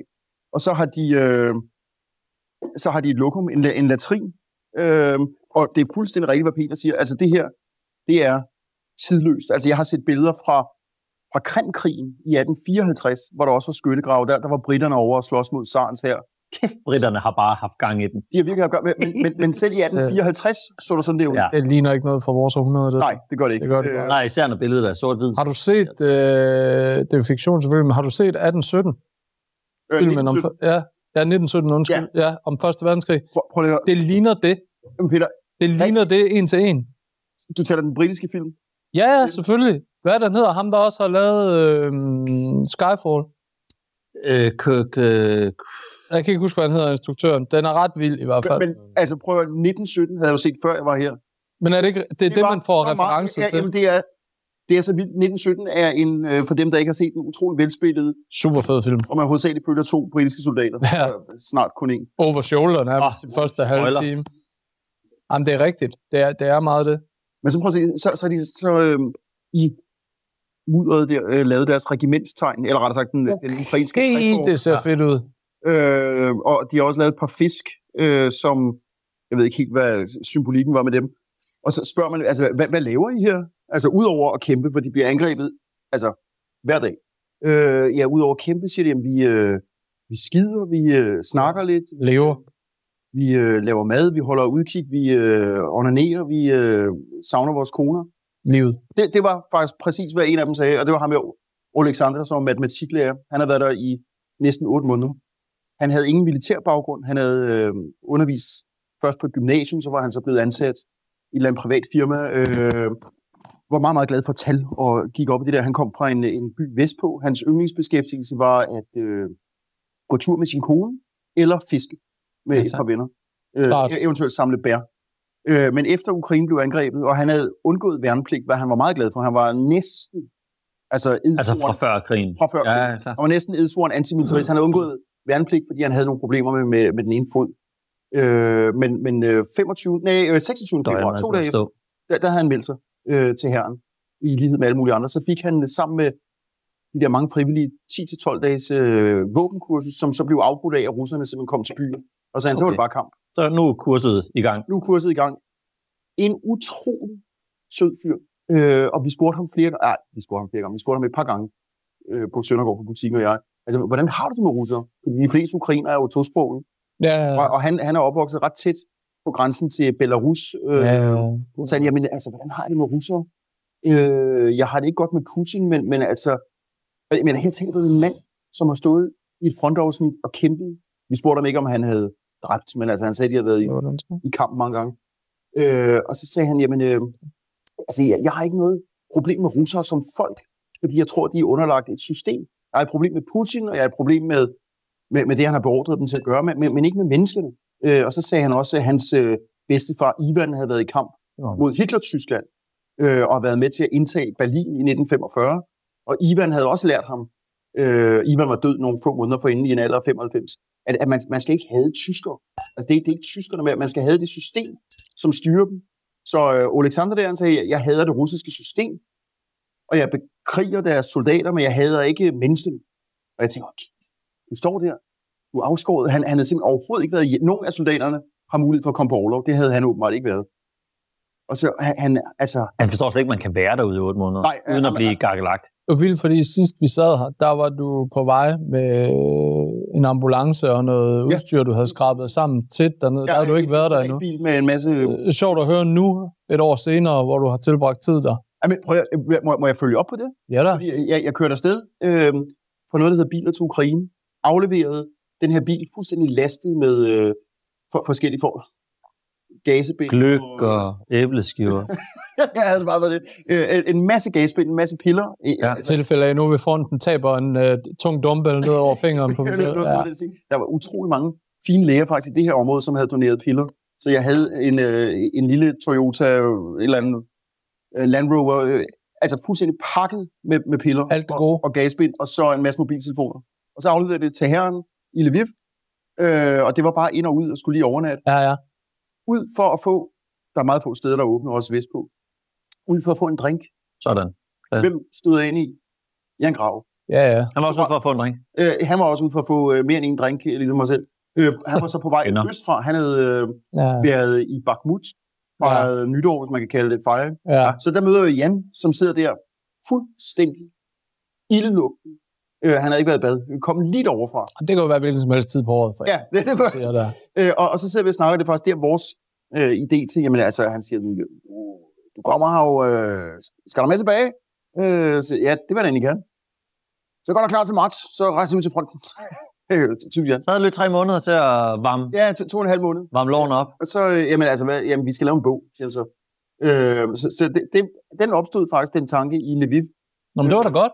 på, over, over en drink på et hotel. Det er det, man skal komme ud. Hvor- Hvordan, hvordan øh, du må have en, øh, jeg har lyst, det er jo latterligt at kalde det overlov, men du må jo tage en masse fravær, i hvert fald sabbat, tror jeg, jeg vil kalde det, fra statsradiofonien. Er de okay med det? Ja, altså, jeg, jeg tog en uh, måned selvbetalt, altså, jeg kunne ikke få... Uh, jeg kunne heller ikke få lov til at lave reportager, så det er... Godt. Øh, det Godt, at det er. Hvorfor? Fordi jeg ikke har øh, det certificerede sikkerhedskursus, som koster 20.000, som jeg ikke må få fra DR. Så, så jeg har været i Ukraine tre gange. Altså, og jeg, jeg siger det, øh, det kan være, der er nogen på DR, der bliver sure. Hvad er det for et sikkerheds? Måske vi skal give det til Adam. Ja, det er det, sidder det, er, det er dine venner fra Guardian, øh, der, der laver... Okay, Jeg kender dem. Ja, ja, Ja. du kender dem nemlig. Ja, ja, okay. Som laver kurset, og og der, der skal man Der lærer man ting. Ja, ma- man lærer nemlig ting. Øh, og jeg kan godt forstå, DR eller i hvilken som helst anden medievirksomhed, at de siger, okay, hvis du skal til øh, ud og Helt klart. dække krig, så bliver du nødt til at vide lidt om det. Mit argument har været, prøv nu, nu har jeg været afsted mange gange siden 2011, altid for egen regning, Ja, øh, og ofte uden forsikring og helt åndssvagt.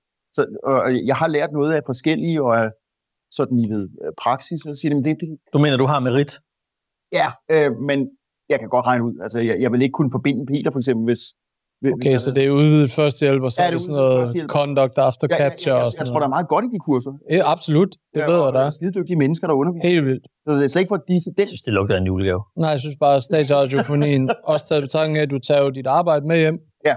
og det fylder så meget i det produkt, du leverer, så det burde da være det mindste for statsradiofonien, det var at betale det kursus for dig. Men jeg købte mig en måned fri, og så var jeg derude, og så er jeg kommet hjem, og så har jeg siddet og skrevet. Kunne du skrive klummer ned fra, øh, fra Ukraine? Øh, ja, det kunne jeg bare. jeg skrev to kloge, men det var. Sindssygt. Se. Øh, øh, Skriver, der kan man jo virkelig skrive på dampene. dernede. Røg, hvad, sad du bare så på nettet, eller hvad? Så røg de med Starlink hjem til Danmark? Okay, godt. Ved, ved du, hvad var vildt? Vi var på et hotel. Altså, øh, nå, jeg har, der er jo sandsække. Der, der, der er ikke mange steder, man kan bo. Nej. Men Et sted øh, østpå, øh, øh, jeg har lige fortrængt stednavnet et øjeblik, øh, ligger lige op og ned af alle fronterne. Øh, 10 km fra Bakhmut. Tak. Fair game. Munden har dig. Øh, De øh, tjekkede de unge mennesker, der arbejder med os, ikke, øh, Adam? og, og, ja, det må man sige. Ja. Øh, og, og det der Hotel Man, som det hedder. Mantel Øh, mand. ja, ja, Godt lige man. med et plok på et hotel her. Ja, det er Folk, der skal til, vi er jo store på hoteller. Ja, Nu sidder vi jo her på Dagnalterre, men det er jo øh, Øst-Ukraines øh, se, Det, det er hovedindgangen. Ja, ja, jamen, det er det. Hotellet har været ramt tre gange. Hotel Mand. Øh, og øh, ser okay ud. re- receptionen var blevet ramt osv. Og mens vi er der, vi var der tre dage, brugte det som øh, afsæt for at rejse øh, rundt i områderne. Ja. Så blev øh, området der op og ned af hotellet øh, beskudt øh, meget hæftigt. Og der var simpelthen en aften, og det er sådan noget, jeg har kun læst om det eller set det på film. Ligger der, øh, vi havde hver vores værelse, og altså nogle fuldstændig sindssygt små værelser, og åbenbart efter gammel sovjetisk standard, enten super, super varme, Ja. skruet, Det ruller de meget med. skruet afsindigt op. Øh, Der var så kogende varmt, og jeg, mener, vi var der i marts, og jeg, jeg, jeg lå decideret bare i dolken. Ja, ja. Jamen, det er, min, det er minus 12 eller plus Ja. 80. Det er de to settings, der er. Det her var så plus 4. Og det er de der koldkrigsradiatorer, hvor du ikke kan indstille dem. Der er ingen termostat. Det er bare max af... Idiot, som er. Men det står de for nede hos manden. Altså, Ja, det, og jeg det, ringer til receptionen, fordi det er et sted, hvor der bor vestlige journalister. Welcome. Kan I ikke uh, fikse det? Jo, jo, det kommer op. No, no, I'm Nej. sorry, not Ja, can do. No problem. Nå, men jeg, jeg ligger så der og sveder, klokken er to, øh, Så og så varmt. siger det bare, så ser jeg først lige et lysglimt lidt udenfor, og så kommer der en kæmpe eksplosion. Så bliver jeg simpelthen kastet ud af sengen af lufttrykket. Nej, Jeg la- lander på gulvet, slog mig i øvrigt min ankel af helvede til. åh oh, nej. øh, skynder ud på badeværelset, øh, kan ikke engang finde mine underbukser, og tænker, fordi badeværelset havde øh, en, en fransk journalist fortalt mig, at hvis hotellet, hotellet er som sagt blevet ramt flere gange, hvis vi var der, og det blev beskudt, og hotellet lå sådan lidt forskudt i forskellige småkomplekser, heldigvis kan man sige, øh, så, så, skulle man øh, løbe ud på badeværelset. Ja, op i badekarret. ja, ja, som så ikke var der. Øh, Klassisk. så, så jeg ligger ned på mosaikgulvet øh, øh, nøgen, og tænker, det Og en redselsfuldt... Øh, Øh, Var det så koldt musikgulvet? Ja, det var den. Ej, hvor dårligt. Helt varm og nøgen på et koldt musik. Ej, et forfærdeligt og billede. Og, og, og en anelse nervøs. Jo, jo. Tænker, okay, skal det så være i den her tilstand? Ja, Alle, ja. alle mine netter, du Det, vi ved aldrig, hvornår vi skal herfra, og i hvordan. Altså, det er forfærdeligt. Men så vildt, ligger der, og det var bare, hold kæft, mand, hjælp! Man må kaste ud. Sindssygt. Du er altid så koporlig, når vi laver de her specials, Adam. Du har også været i gang været ved at kvæle mig, kan jeg huske. Ah, ah, det, det kan man ikke. Brød. Øh, jeg har faktisk en, Jeg tror, det er øh, her, jeg har, jeg har en tilståelse, Adam. Som er? Øhm, du gav mig engang en af de fedeste gaver, jeg nogensinde har fået. Mener du det? Øh, Kniven. en håndlavet foldekniv fra Mussolinis fødeby i Italien, hvor du godt kan lide at holde ferie. Ja, det er faktisk ikke fra Fødeby, men en by, han har grundlagt. Det hedder Sabaudia. Ja, der hvor de stadigvæk øh, hejler, når man går ind til bageren og sådan noget. Ikke? Det skulle være et ret vildt sted. Ja, men I, skal tage dig til. Jamen, vi har det er på... Den er, den er på listen. Siger det igen og igen. Må jeg lige vise jer stranden bare ganske? Altid.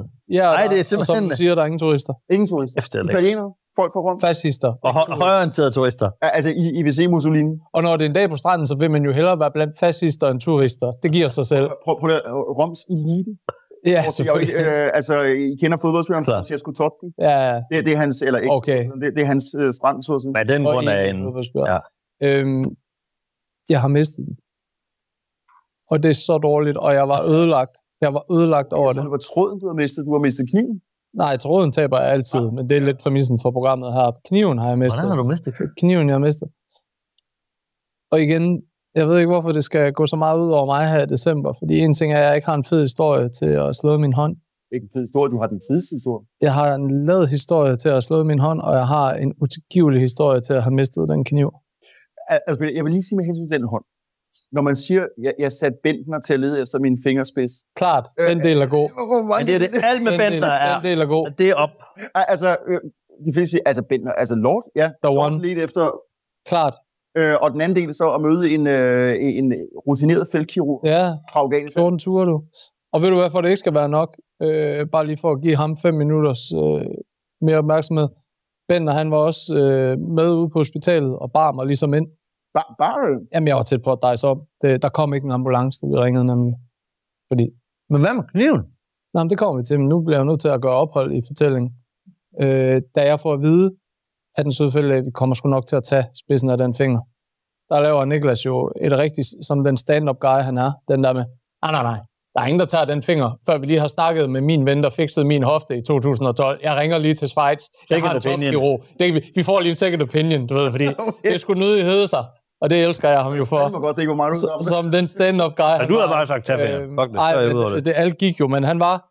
Vi var på vej til Zürich for at få sat den finger ordentligt på igen. Det var vidunderligt.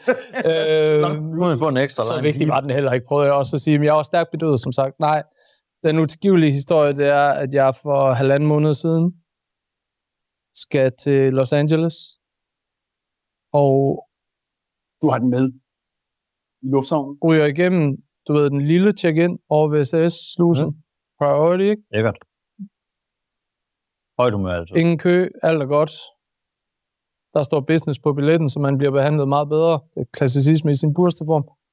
Øh, ham, den lidt mere øh, civiliseret øh, security mand med scanneren, han siger, er det en taske? Jeg siger, ja. Han siger, jeg vil lige kigge ind. Ja, du kigger bare ind. Der er, der er intet.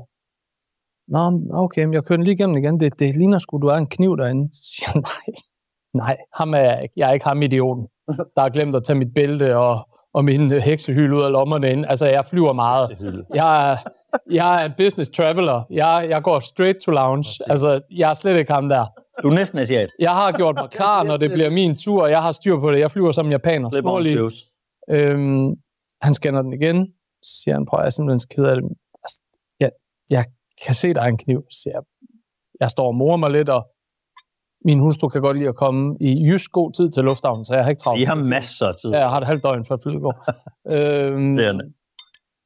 til sidst, inde i sådan en lille udgave af min taske, japansk mærke, der hedder Porter Yoshida. Rigtig flotte Ud. tasker. Mhm. Øh, olivensen i NATO-grøn. Meget fed.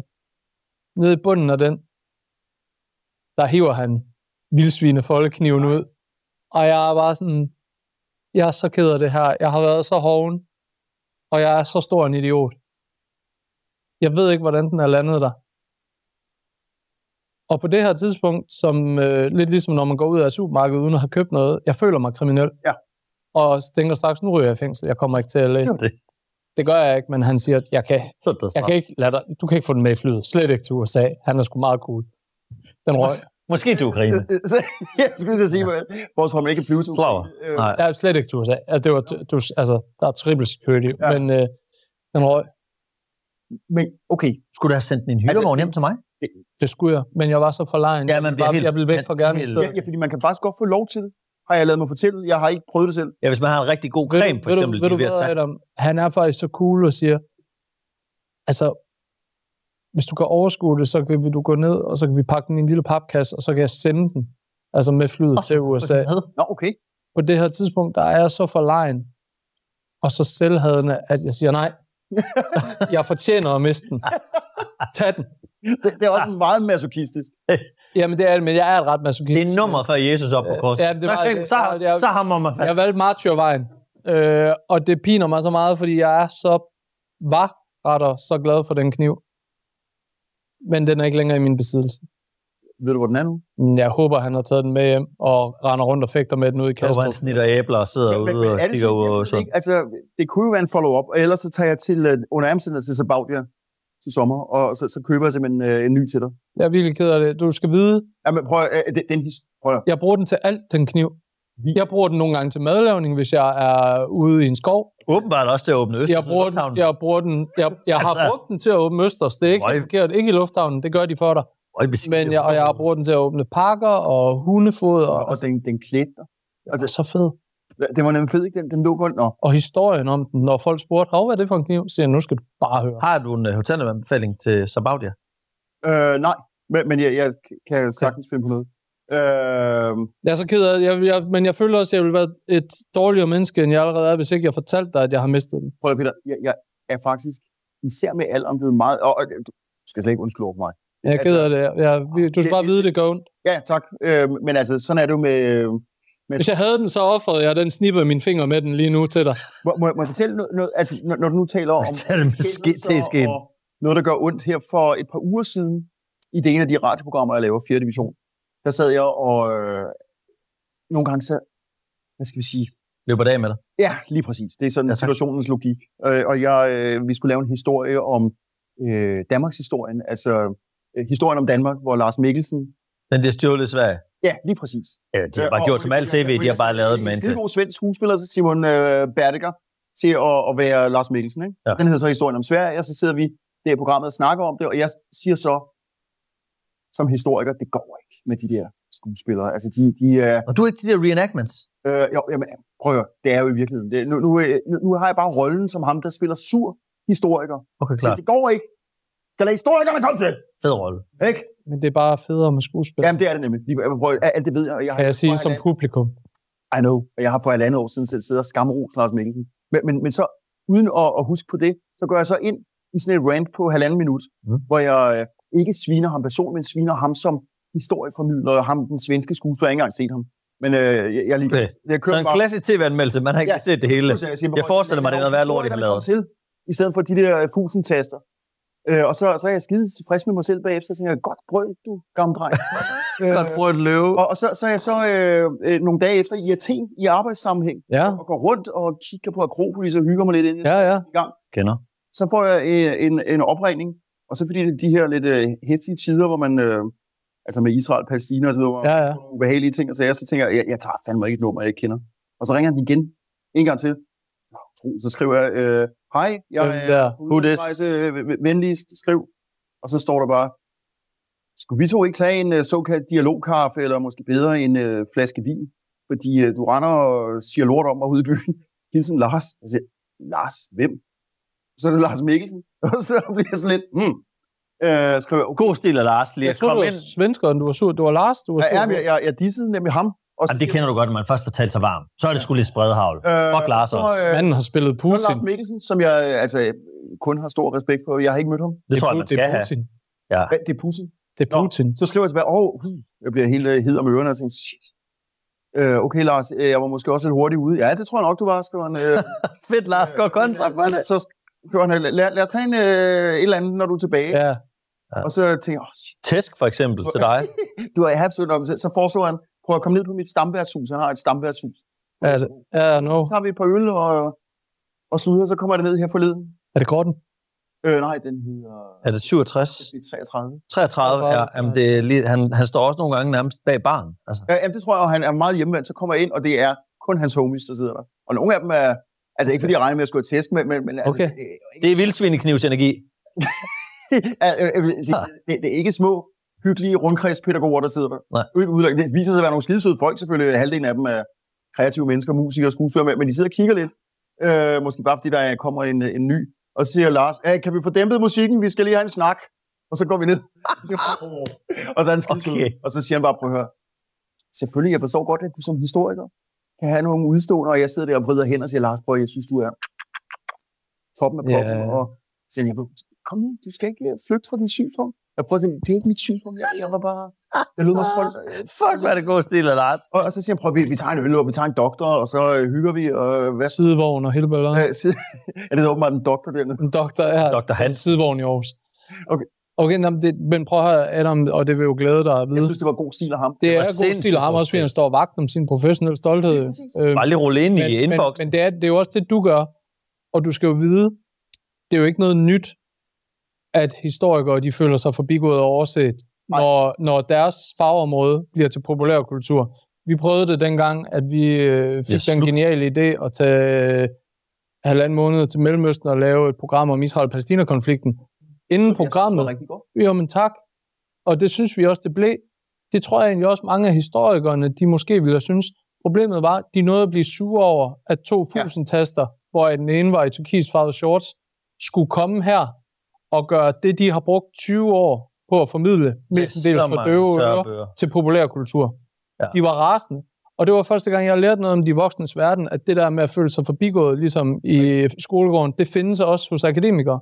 Jamen, Og jeg forstår det jo egentlig godt, fordi jeg sidder der i 25-30 Det er da år. fucking nederen. Og jeg kan da huske, da man havde om Israel-Palæstina-konflikten i gymnasiet på Aarhus Ja. Katedralskole, der hed det sig, hvis du får Israel-Palæstina-konflikten, så skal du bare holde med palæstinenserne, fordi Retbøl han dumper dig, hvis du siger noget positivt. Altså det var sådan noget, de har siddet der i 30 år, og alle havde der kommet op i den, for det var svært, og det var ikke til at Ja. forstå, og det var egentlig også ret kedeligt meget Når tid. startede det? Og det starter med en brændende busk i Sinai-ørkenen, og altså du ved, jeg forstår det godt, men bare for, det er jo det, der er sket med dig også der, Lars Mikkelsen. Du har siddet og vidst helt vildt meget om noget, og så er det Lars Mikkelsen, der bliver underholdning søndag aften kl. 20, ikke? og ovenkøbet skide god. Præcis. Det, det, det Lars ikke vidste, og som jeg ikke rigtig havde med i mit rant, det var, at jeg var en af de DR-ansatte, som var sådan lidt i opløbet. Altså, jeg tror slet ikke, jeg var tæt på. Der var en 4-5 værter, de kiggede på. Jeg var til en snak. Nej. Og du er historiker. Så har, så har Lars taget den fra dig. Jamen, og Ej, så fuck, Lars. Altså, så, Ja, så fuck Lars Så fuck Mikkelsen. Lars det vil jeg sige. Så, hvad sagde du, det hed det værtshus? 33. Vi tager ned og banker. Hey, fuck ham der. Han skal ikke tage dine værtsjobs. Det er en helt anden snak. Det er en helt anden snak. det var lige her bag mig i 1776. Ej, ej, okay. Nej, ved du hvad? Ved du hvad? Ej, det, jeg vil ikke kunne det. La, ej, ved du hvad? Adam? Det er jo godt, det blev Lars. La- La- Lars Fuck dig. Fedt. Du laver Det den skrå finger også. Den der med, historikeren Ja, har fået Indiana Jones tøj på og kommet i felten. Ja. Ej, hvor var det et arkeologagtigt Neil, du lavede der. Ved du hvad? Vi trækker, jeg trækker det tilbage. Hey, hvorfor Det siger Lars. det til sidst? Han, det er jo et spørgsmål om honorar. Nu er det business. Nu er det en helt anden Nej, problematik. Det, det er fagligt stolthed. Lars Mikkelsen, Du skulle have haft det job. Lars Mikkelsen kan forføre. Altså, nå, jeg, jeg, Det skuespillere prøv- kan jo. Prøv, prøv, prøv lige at se her. Jeg, jeg prøver lige igen. Men det er det. Ja, det er så godt, det der. Det var lige her bag mig Ja. i 1776, ja. at uh, Peter Falktoft Togen var tæt. Esben Jew, To- Togen var tæt. Og, og, og han har stemmen, og han, Ja, har, Det er det. Han har nemlig stemmen. øh, han, han har de der, øh, han har gestik, han har krop. Men, men det er jo en generel Og ting, og det er jo også, det slår mig også nu, det sker jo for to faggrupper, det der. Det sker for historikere, og sådan noget, når de laver Gladiator og 300 og sådan noget, Ja. så sidder der en historiker, sådan så de varme på det ikke ud, og jeg er jeg der. Men, men, men alle os, Vi er alle ligeglade. os, der ikke vidste noget, vi ved faktisk noget, hvis vi en dag bliver quizzet i det. Forstår du, hvad jeg mener? Ja. Det, det er min pointe med populærkultur. vide lidt, er, end du lærer, jeg tilhører det segment, der lærer mere populærkultur. Sådan noget. Altså, jeg havde ikke vidst en skid om Iliaden, hvis ikke det var, fordi Brad Pitt spillede Achilles i trøje. Forstår? Altså, man får faktisk ting med derfra. Samtidig forstår jeg jo godt den faglige indignation over det. Men det sker for historikere, og så sker det for komikere. Nå, okay, på hvilken måde for komikere? Mm, fordi at skuespillere de er bedre værter, Ja. fordi de er sjovere i At virkeligheden. de havde jo i 10 år et show på TV2, som hyldede dansk komik, dansk stand-up. Og i 10 år, der hyrede man konsekvent skuespillere til at være værter for det show, Du griner, fordi de var du griner sjovere. kun, når det er Nikolaj Likos, der er vært. Eller Rasmus Bjerg, eller Sisse Babette, eller alle mulige. Sofie Linde tror jeg sågar var vært. Det var Sisse Babette vært. Yes. det er en værtsting, det er, at, at de gode skuespillere, fordi deres intonation og timing er, ja. altså det er noget, man lærer. Så er der en tredje gruppe, øh, og det har vi alle sammen oplevet. Det er, når en sportsnyhed er så god eller så stor, at nyhedsverdenen stjæler den fra sporten, putter den op i nyhederne. Om det er jo ikke skuespillere. Nej, det er rigtigt. Nej, Det er Kim Bilsø. det er Kim Vilsø. Han er også lidt en skuespiller. Jamen, det har du godt set. Hvis, når, når der sker noget vildt nok i sporten, så tager de den fra sporten og lægger den op i starten af TV-avisen. Og der Det er altid, rigtig godt. Der har jeg altid, nu har jeg også et rigtig godt forhold til det her sporten. Jeg har altid følt rigtig meget med sporten. Ja, når det endelig virkelig batter. Hvis, når, der, når der endelig sker noget sindssygt, sådan dopingskandale, Ja, ja, et ja. eller andet, Bjarne. så kommer der nogen i spidse sko over for nyhederne og siger, åh, Så er jeg. Det der, det er ikke sport. Så sidder de der, prøv at, det er Tiger Woods, jeg har set golf i 30 år, det er mit område. Er ligeglad. Så siger de, nej, nej, nej, nej. Nu er det populært. Må jeg se dine sko? Så er ja, det de er ikke nyheder. spidse. Ha' en god dag. Men, men I har fuldstændig ret. Men det sker, det der, Adam. og- Altså, altså, og, og jeg tror jo også, i din frustration i øjeblikket, der tror jeg også godt, du kan se, Lars Mikkelsen fik jo helt vildt mange mennesker til at vide noget mere om Danmarks historie. Hvad? Er vi faktisk ude i, at vi ikke har mere gløk? Satans. Du kan tage min. kunne godt være. Ja, jo. Han er meget gløk. her. med en, en fjerde gløk? Jamen, jeg tænker bare lige, Det er jul jo. der er jo ikke noget sprudt i den, Nå, okay. tror jeg. Jo, Ah, det tror jeg sgu jo, jo. Det virker sgu ikke sådan. Jamen, der, det er der. Det vil jeg sige. Der, er- der, er, ej, det det er rigtigt. Den er, den er, Der er- hvad sprut angår. jamen, der er sprudt i, i to, mand. Hold lige, hold lige vejret. Hold lige vejret. Nej, men det, det er en ting, det der, øh, Adam sagde, jeg godt forstå, at du bliver frustreret. Men, altså, Men jeg synes, det er fedt, at han kalder dig ned på, på et værtshus og tager den. For du har tydeligvis også... Ja, du skal også huske på, at tit og ofte, sådan nogen som ham, lige præcis når han træder ud af sin comfort zone, som er ren fiktion, så er han jo også mere personligt engageret i det, fordi han gør sig selv modtagelig over for kritik fra historikere. Så det er også derfor, den rammer. Fuldstændig. Øh, og det var han, øh, det, det er meget godt set, og det var, det var han meget ærlig omkring. Øh, Der er altid og han sagde, han havde også fået hug fra skuespillere, som synes, at, øh, at han skulle ikke have gået ind og, og, og spillet øh, historiker. Og så sagde han, spillet historiker, jeg formidlede. Øh, og, og jeg synes, jeg, det værste er, at jeg synes jo, han gjorde det skide godt. Øh, Jeg må og- med og- skam og sige, det at jeg så ikke har set det. okay, Du har ikke så Øh, meget jeg har blandt- ikke gløk. Nej, men så får du bare lige, du får bare lige oveni her. Lidt, kal- Okay. lidt calvado. Øh, og det sjove er, at da jeg skal ud af døren, så siger min øh, 17-årige, øh, så siger han, hvor, hvor skal du hen, pappa? Så siger han, jeg skal på Værtshus med Mads Mikkelsen. øh, Lars Mikkelsen. Lars Mikkelsen. Øh, nej, jeg siger bare, jeg, jeg skal på værtshus og møde en, øh, en skuespiller, som er blevet sur på mig. Så siger han, øh, Stærkt sæt. så, siger han, "Hvem- er det? Så siger han, det er, så siger han, "Jamen, det er fordi, jeg prøver lige at forklare først, hvad det er. Så siger han, det, jeg har sagt nogle ting i 4. division om Lars Mikkelsen. Så siger han, åh, Lars Mikkelsen! Vi sad og så ham i 9. klasse. Han er helt vildt god til at fortælle historie. Ej. there you are. Øh, Han Ja. er god. Han er pissegod. og, han er, og jeg, er meget enig, men det var mere ligesom, du ved, øh, hvor, hvor mange argumenter kan jeg tage med i rygsækken til ære for Lars Mikkelsen? Er du blevet bedre gennem nu? Hvor gammel er du nu? 54. Dine 54 år til så bare at sige, okay, Lars har faktisk ret. Ja, jamen, det, det vil jeg faktisk have lov at sige. Hvis, altså, Du kravler nemmere ned ad træet.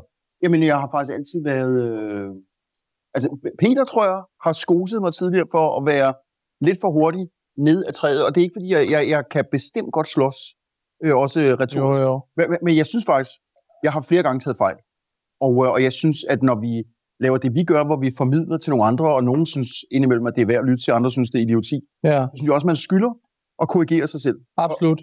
Jeg, jeg gjorde det så også i, i 4. division. Jeg sagde, prøv at høre, ugen efter. Ja. Jeg har været... Øh, Jeg har fået en autograf af Lars Mikkelsen, det var pisse fedt. øh, Og nu er vi venner. Nej, udover at han er enormt meget nede på jorden. Så, øh, jeg, jeg synes, det han sagde, det han reagerede. Fordi jeg sad der fuldstændig omkostningsfrit og gjorde mig lystig. Det er jo radio. Og, og videre, videre i Det det. teksten. Jeg, jeg var ikke klar over, at han sad der og lyttede med og, øh, og tænkte, hør en gang, det, det, det skal du ikke bare have lov, og, og du skal ikke kaste med mudder.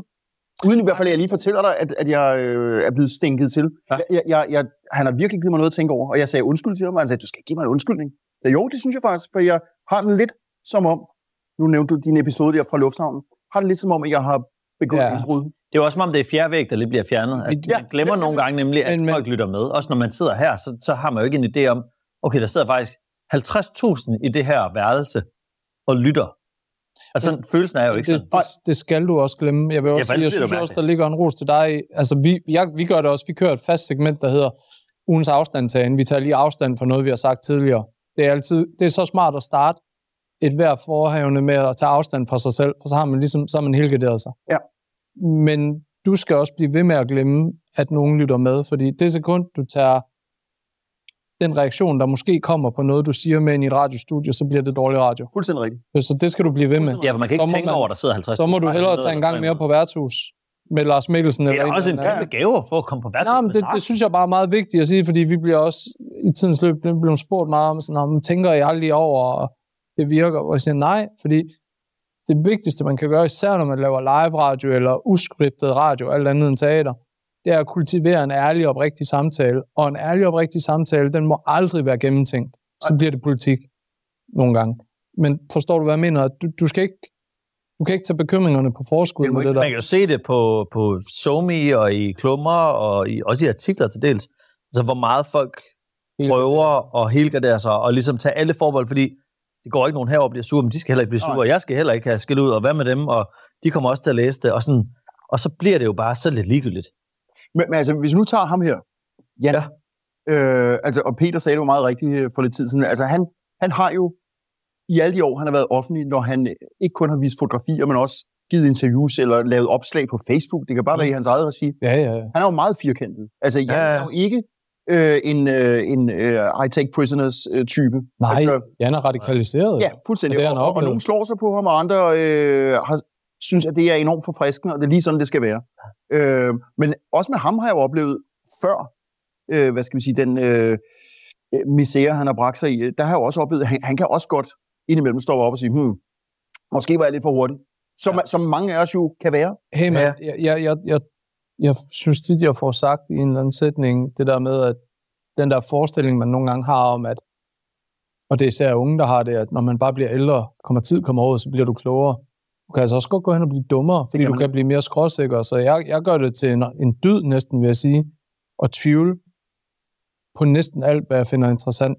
Det er også derfor, og det er jo, det er jo tit kimen til at ikke at, at med, vide, hvad man skal mene, men jeg synes, det er rigtig vigtigt, det der med med tid at kunne se, nah, er det mig, der har ændret mig, eller er det omgivelserne, der har ændret Men sig? nu siger du med tid, Peter. Altså, hvor lang, hvad skal vi sige, øh, Jeg, konverteringstid skal man give det?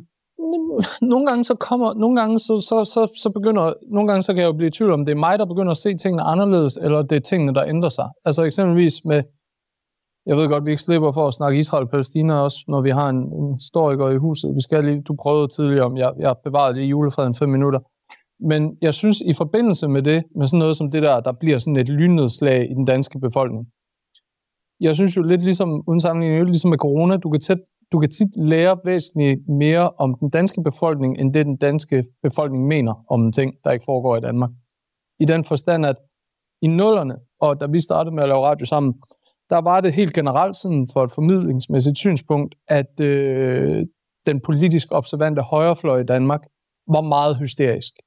På, På sådan, måde? på sådan nærmest sådan satirisk øh, niveau, mm. med at der stod en eller anden hemmelig øh, her i øst og stampede og ventede på, det at var på vej Frontex holdt fri i fem minutter, så Ja. vi bliver overløbet af araber og sådan noget. Ja. Så vil det være 6 millioner Det var sådan klassisk der, i DF's storhedstid, hvor det var sådan, sikkert dog, eh, sikkert dog noget hysteri. Altså sådan noget, teori om, at man bliver udskiftet. Fuldstændig. Ja. Alle, jamen, du ved, alle de der ting. Sikkert over, generelt sådan på højrefløjen i Danmark også med, hvis der var hvis der stod noget farligt i en pixie-bog eller et eller andet, så gik folk fuldstændig Kommer det ballerlike. startede med det der med, at de tager vores damer, og de tager Ja. vores job. Jamen, alt det der. Det gjorde ved, de ikke. Det, det var meget sådan, det, det synes det var meget hysterisk, og det havde sjældent rod i virkeligheden. Her 10 år senere i Danmark, der synes jeg jo, at den hysteri, den har skiftet fløj. Det er meget venstrefløjen, der er hysterisk hele tiden. Der kan jeg jo godt blive i tvivl nogle gange om, er det mig, der ser verden anderledes, eller er det, som jeg er ret overbevist om, det er, hysteriet, der ligesom så mange andre ting skifter hænder, øh, sådan rent kulturelt og politisk i Danmark? Jeg så tror jeg, vi har bare snakket om det der med, der er jo noget med, at den yderste højre og den yderste venstrefløj på en eller anden måde nærmest har nærmet sig, altså det er jo en cirkel, som om de nogle gange næsten nærmer sig, i forhold til, hvor totalitære de vil være. Ja, men, men det er sådan en gammel, Det er jo helt Hvis du løber langt nok til højre, så ender du op ud til venstre. Ikke? altså, Forstår du, hvad jeg en mener? gammel fransk udsagn, les extrêmes se touche. Altså, øh, ekstremerne mødes. Ja. Og det gør de jo, fordi de, de har samme skyklapper. Altså, mekanismerne er jo identiske, det er bare Det er de. lige, genstanden, som er forskellige. Ja, vi, nu har vi det med Hamas. Det er jo et godt eksempel Hamas, på nogen, som du- vel er... Du siger, Det har jeg fået at vide, det skal man sige for at være med. Men Hamas, de er vel altså sådan, sådan ideologisk sådan et helt ekstremt øh, højreorienteret psycho øh, terrororganisation med, øh, altså med kvindeundertrykkelse og fuld sharia-vibe. Og så er det jo bare sjovt nogle gange, at dem, der ligesom skal lidt forsvare, ikke dem, men sådan det, de skal stå på mål for, det er så den yderste venstrefløj. Ja. Altså der bliver et eller andet helt Jamen, gakkelak. Extreme se touche. Altså, fordi uh, Hamas er jo Hamas. stiftet som en altså, øh, skal mere rulle på. sunni-muslimsk, øh, meget radikal øh, nationalistisk bevægelse, som i virkeligheden var i modsætning til PLO, som havde været paraplyorganisationen for alle palæstinenserne. Og Hamas øh, kiggede på øh, Yasser Arafat dengang, det er, øh, man skal også sige Yasser Arafat, for det til at lyde lidt israeli, øh, kiggede på Arafat og tænkte, okay, han er ikke længere i stand til at lede palæstinenserne i kamp. Nå, PLO, det var Lars Mikkelsen, og Hamas, det var dig. uh, du er mere på... Det er en meget, meget ubehagelig sammenligning, Esben. Øh, under ærmelserne, hvis du tænker på med, altså hvem der er den forstandige, så kan du godt sige, så var PLO, øh, eller er PLO blevet. Dengang var PLO jo Der var også fart på. der var også fart på. Ja. Øh, Hamas, eller stifterne af Hamas, mente bare, at PLO øh, var kommet til kort over for israelernes Ja. øh, noget Ja, mere hårdhændet. Der skulle mere fart på. Der skulle mere fart på. Og så Klart. kommer de til, prøv at høre, der er to ting, øh, PLO har glemt. De har glemt at sætte volden først, Ja. og, de har, og de har glemt øh, religionen. Altså, øh, fordi de, øh, de er halvmarxister, og de fabler løs, Sidder kævler. øh, leger med Sovjetunionen. Øh, Glem det, glem det, glem det, glem det. Øh, det, øh, kommunismen er alligevel øh, lige til at lukke op og skide i og køre ud på historiens mark. Det er gået af helvede De skal sætte fart på religionen. Prøv at kigge på Iran. Så er det Iran, der har de klaret, selvom de ganske vist er shia-muslimer, de har klaret at skabe et teokrati, et religiøst styre. Vi kan gøre det samme, selvom at, at de øh, er shia-muslimer. Øh, Så deres inspiration var at kigge øh, altså et stykke østpå. Sige, vi kan gøre det, iranerne har gjort. Og så kan vi bekæmpe de her øh, forfærdelige Yahud.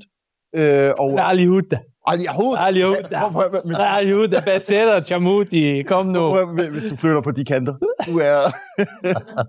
Jeg ved det. Jeg ved Det er. Jeg har været der. Det er jo det, jeg siger. Ja. Øh, Adam, øhm. Meget, I know, øh, meget apropos det her, og det er jo en rigtig julespecial, ikke? Sådan Jo. en gang øh, krig i Ukraine, og så lidt Israel-Palæstina. For noget hyggeligt. Sidder her øh, på, på efterbølgerne Kan, af, kan, kan vi ikke snakke øh, at forpurret- kvinder og utroskab og alt muligt? Øh? det kommer, men det er, jul, det er jo det, julen handler om. De bliver nødt til at få noget andet. Øh, Nå, jeg troede, det var kvinder ud. Øh, jamen, det er det også. Øh, Adam, er du øh, blevet kontaktet af mange mennesker, der ikke ved en skid? Du er historiker med, jeg ved ikke, hvor Ja. mange års ophold i øh, Mellemøsten om, hvordan Ja, det hænger sammen i Mellemøsten. Jeg er en del rejser. Ja. Ja. Har du fået lige fået at vide, hvordan verden hænger sammen her i løbet af de sidste Ja. par måneder? Ja. Absolut. Du har lavet mange historier om øh, Mellemøsten. Ja, ja, øh, vi har lavet nogle stykker. Altså om, Er der mange, der lige For mig har var det fortælle dig, hvor meget du tog fejl? ja, det er sjovt, ikke, med den konflikt her. Øh, kender det, kan jeg høre. Æh, kun fra 2013, hvilket jo var i fredstid. Øh, Ja. der var, Det er men der vil jeg sige, dengang der var vi jo så heldige, at Dansk Palæstinensisk Venskabsforening og Mosaisk Trosamfund, de var nogenlunde lige farvet over det, vi lavede. Og der fik Okay, vi at vide ude Jamen, det er rigtigt. At det er det, det er det bedste, du kan håbe på, når du dækker øh, Vestbreden, det er, at begge parter er lige farvet. over- 10 år siden, jeg så det. Det er 10 år siden, ja. Øh, Jeg var på det tidspunkt øh, øh, vært på Deadline. Øh, Jeg ved det. Jeg synes, det var godt. Tak. Altså, og, og, og jeg siger det ikke kun for at være høflig, og Det er helt jeg okay. har sagt noget andet, når der er gået 10 år, men, men jeg synes faktisk, at det, I gjorde rigtig godt med en ekstremt kompliceret konflikt. Ah, Øh, Det er det, du kan aldrig dække det fyldskørende. Nej, man kan ikke dække Altså, det er jo man, man, man bliver nødt til at fortælle, at der er to parter med enormt smertelige historier. helt sygt jo. Øh, og nogle gange faktisk mere end to parter, fordi parterne indbyrdes. Hvis man Ja, bare siger, der de er to heller ikke blokke, Altså, nogen glemmer for eksempel, når man taler palæstinenser, der er, øh, så siger man, palæstinenser, de må være muslimer. Nej, øh, palæstinenser er for 80% vedkommende, eller lidt mere, muslimer, som så er delt i forskellige retninger. Så, så er der kristne palæstinenser, de har så indbyrdes ofte haft problemer, men de kristne indbyrdes igen har også haft deres problemer, fordi Ja, det afhænger af, om man er ortodox eller, eller, eller måske katolsk. Øh, det jødiske samfund, så siger man, om jøder hænger sammen. Jøder hænger sammen. Well, øh, jøder fås i mange forskellige afskygninger, også kulturelt og, og i den religiøse prægning.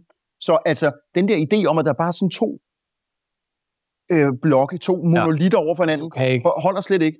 Øh, så når man først begynder at... Og allerede her er vi jo altså langt forbi en overskrift. Fordi Ja, ja, langt forbi en overskrift, men, men det, jeg synes, I gjorde rigtig godt dengang, faktisk, med, med de midler, I valgte, fordi I jo ikke er øh, kommer med fod ikke historikere. og, og, og, og den, det store historiekort.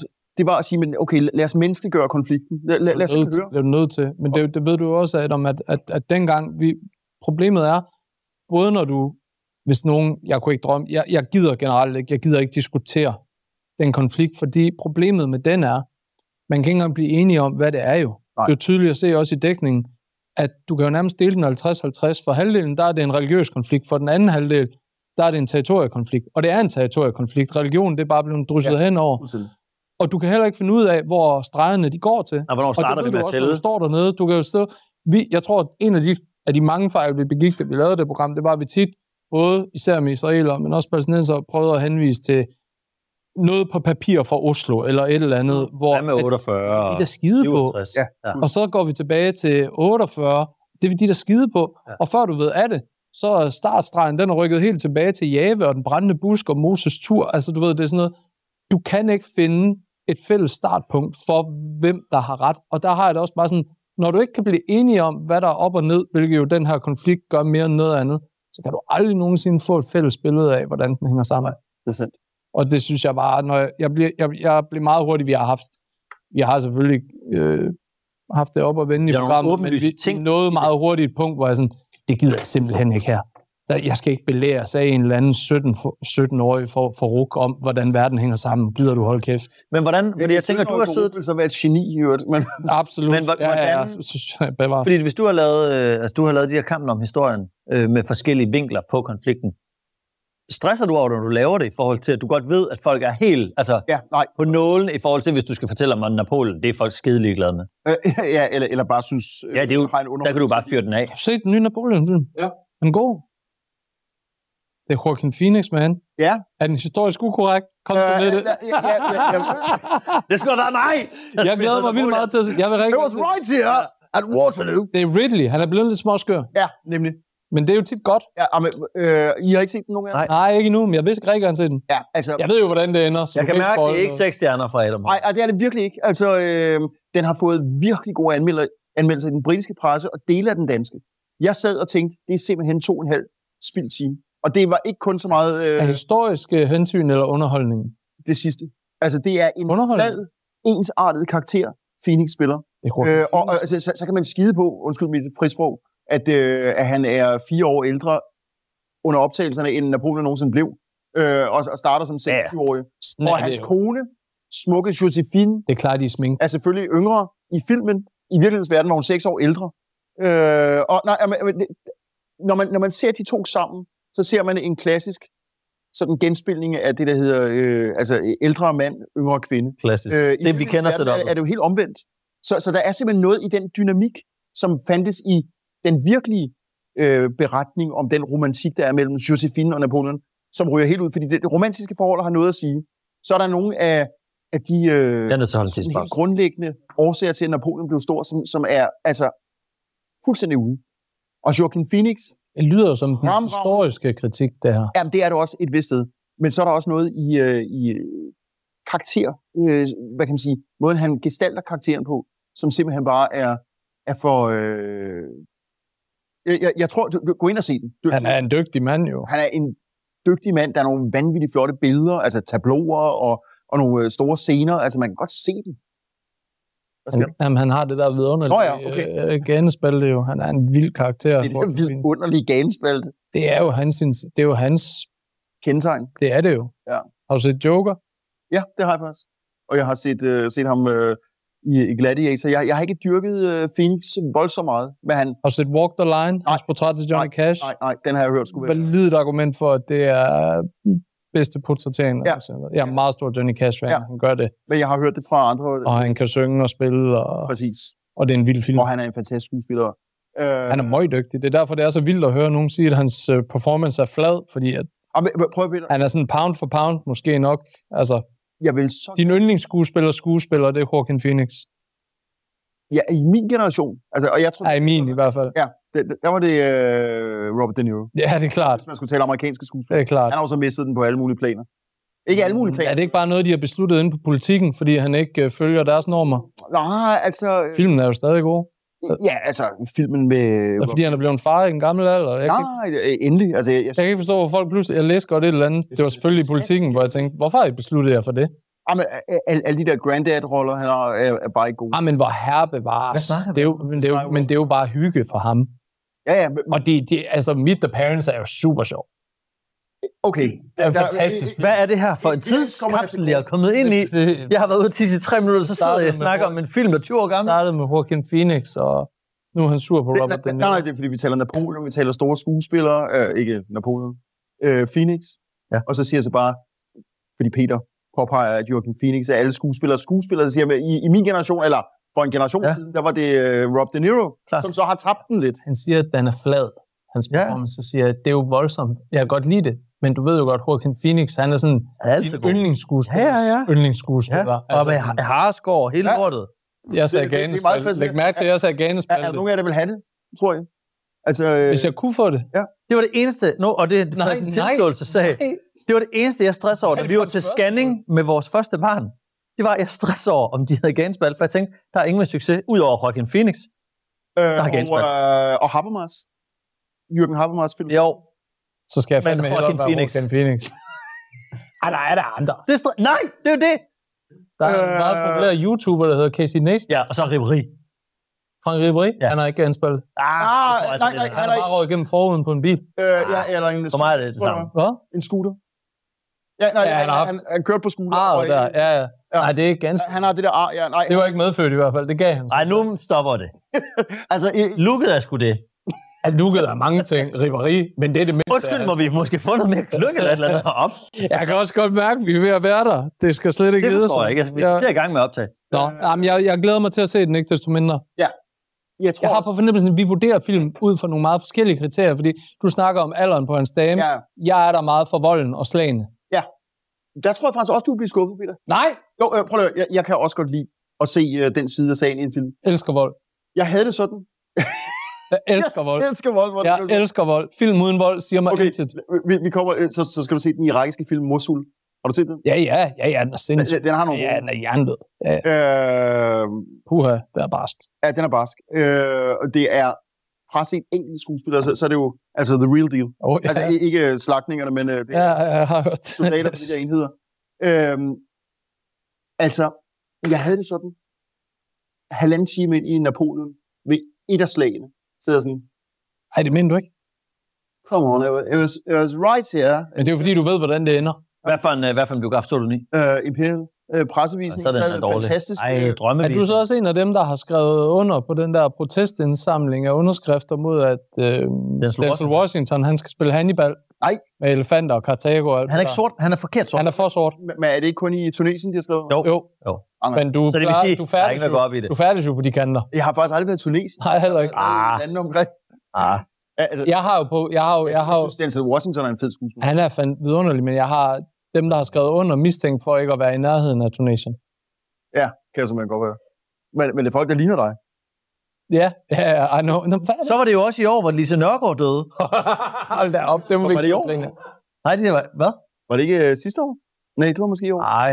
Ej, det er jo usilt. Thijs har, lavet, Thijs har lavet året, der gik på Ej, jeg tror også, TV2. det var i år. Det var de største Ej, øjeblikke. Og det største øjeblik var, at hun døde. Altså, øh, min, min gode ven øh, Vincent Hendricks var meget bedrøvet. Vi har haft ham i uh, ja, studiet. Det er rigtigt. Det var det, han var trist Han er over. super fed. Han sender mig øh, videoer af ham selv, der spiller øh, 50 Cent nummer på et lille keyboard. Jeg sidder, øh, jeg sidder i en bil. Jeg fatter ikke, du ikke drikker. Jeg sidder, og det gør jeg nemlig ikke engang. Jeg sidder ude i en bil øh, i, øh, i ørkenen i, det, i Kalifornien, og så får jeg første gang, der er dækning i flere timer, en besked af Vincent, der siger, død, død, død, død, død, død, sidder han og spiller 50 på et keyboard, og der er ikke nogen forklaring til, han sender bare sådan noget. Godt. Så går der en Altså, uge, Godt. Kontinuerligt. Ned, så går der en uge, så sender han et billede af sin samling af softguns til mig på en seng. Sådan lidt øh, PET watchlist-agtigt. jeg sådan, Rigtig sådan højere. så sidder, så sidder han se mine softguns. Jeg, jeg var slet ikke klar, at han havde softgun. Jo, han er stor på, Men, han er stor øh, på skyde. Nå, okay. Det er det, vi kan, når vi interviewer folk, eller har Vincent. gæster i programmet, der vi får sider frem af dem, men øh, man ikke er bekendt Hvad laver dig og Vincent, når I hænger ud? Snakker. Diskuterer. Spil, spiller, altså, de har et 50 Uko, Cent den historiske ukorrekthed af Napoleon. Nej, de har et 50 Cent coverband, hvor de spiller Magic Stick på ukulele. de går fuldstændig balalaika. Ja, prøv at høre, hvordan har jeres år været? Det har været godt, bortset fra, at jeg Ja. slået mine fingre. Ja. Ja, det synes jeg har været strålende over. Men men det har ikke været et særpræget år, der har skilt. Altså, som sagt, mit 2023, jeg har aldrig oplevet et så øh, tumultarisk år, fordi så er der også hele forløbet med Jeg synes, det er og fedt at Hun høre. er flyttet fra mig, heldigvis øh, i, i gode omstændigheder, fordi hun rykkede tilbage til Norge i et år. Så jeg er alene for. Nå, jeg skulle til at sige, det Så var I er ikke blevet skilt? Nej, nej, nej. Og, og, Hun er bare taget til Norge i et år. Altså, øh, det er som om det her år, og det er ikke færdigt nu, bliver ved med at byde på... Hvordan er det at Ja. være alenefar? Og, øh, altså, Børn er voksne. Ja, ja, altså, jamen, de kommer vel hjem? ja, ja, det, det er en, En gang om og året. hun kommer hjem om et år, øh, og jeg tager til Norge en gang med. Men, men, men det er faktisk, altså, jeg, jeg er jo reduceret til en menneskelig svejserkniv. Jeg altså, skal passe mit job, øh, skrive og rapportere dit og dat. Øh, så fordi jeg er meget, meget dårlig til at uddelegere arbejde, og fordi de der unge fyre, de gør tingene i et andet tempo, end jeg vil. Så jeg, øh, Langsommere? og, og senere. Så, så jeg, jeg står for al rengøring, så bager jeg boller og laver mad, og, øh, og, og jeg har sådan et princip om, at jeg vil ikke købe takeaway, medmindre at vi er, altså, har kniven. Ja, klart. Og jeg har smidt kniven væk jo, så det kan du ikke. Så, så jeg, jeg, har, jeg har meget... Peter har købt alt takeawayen. Der er ikke mere nu.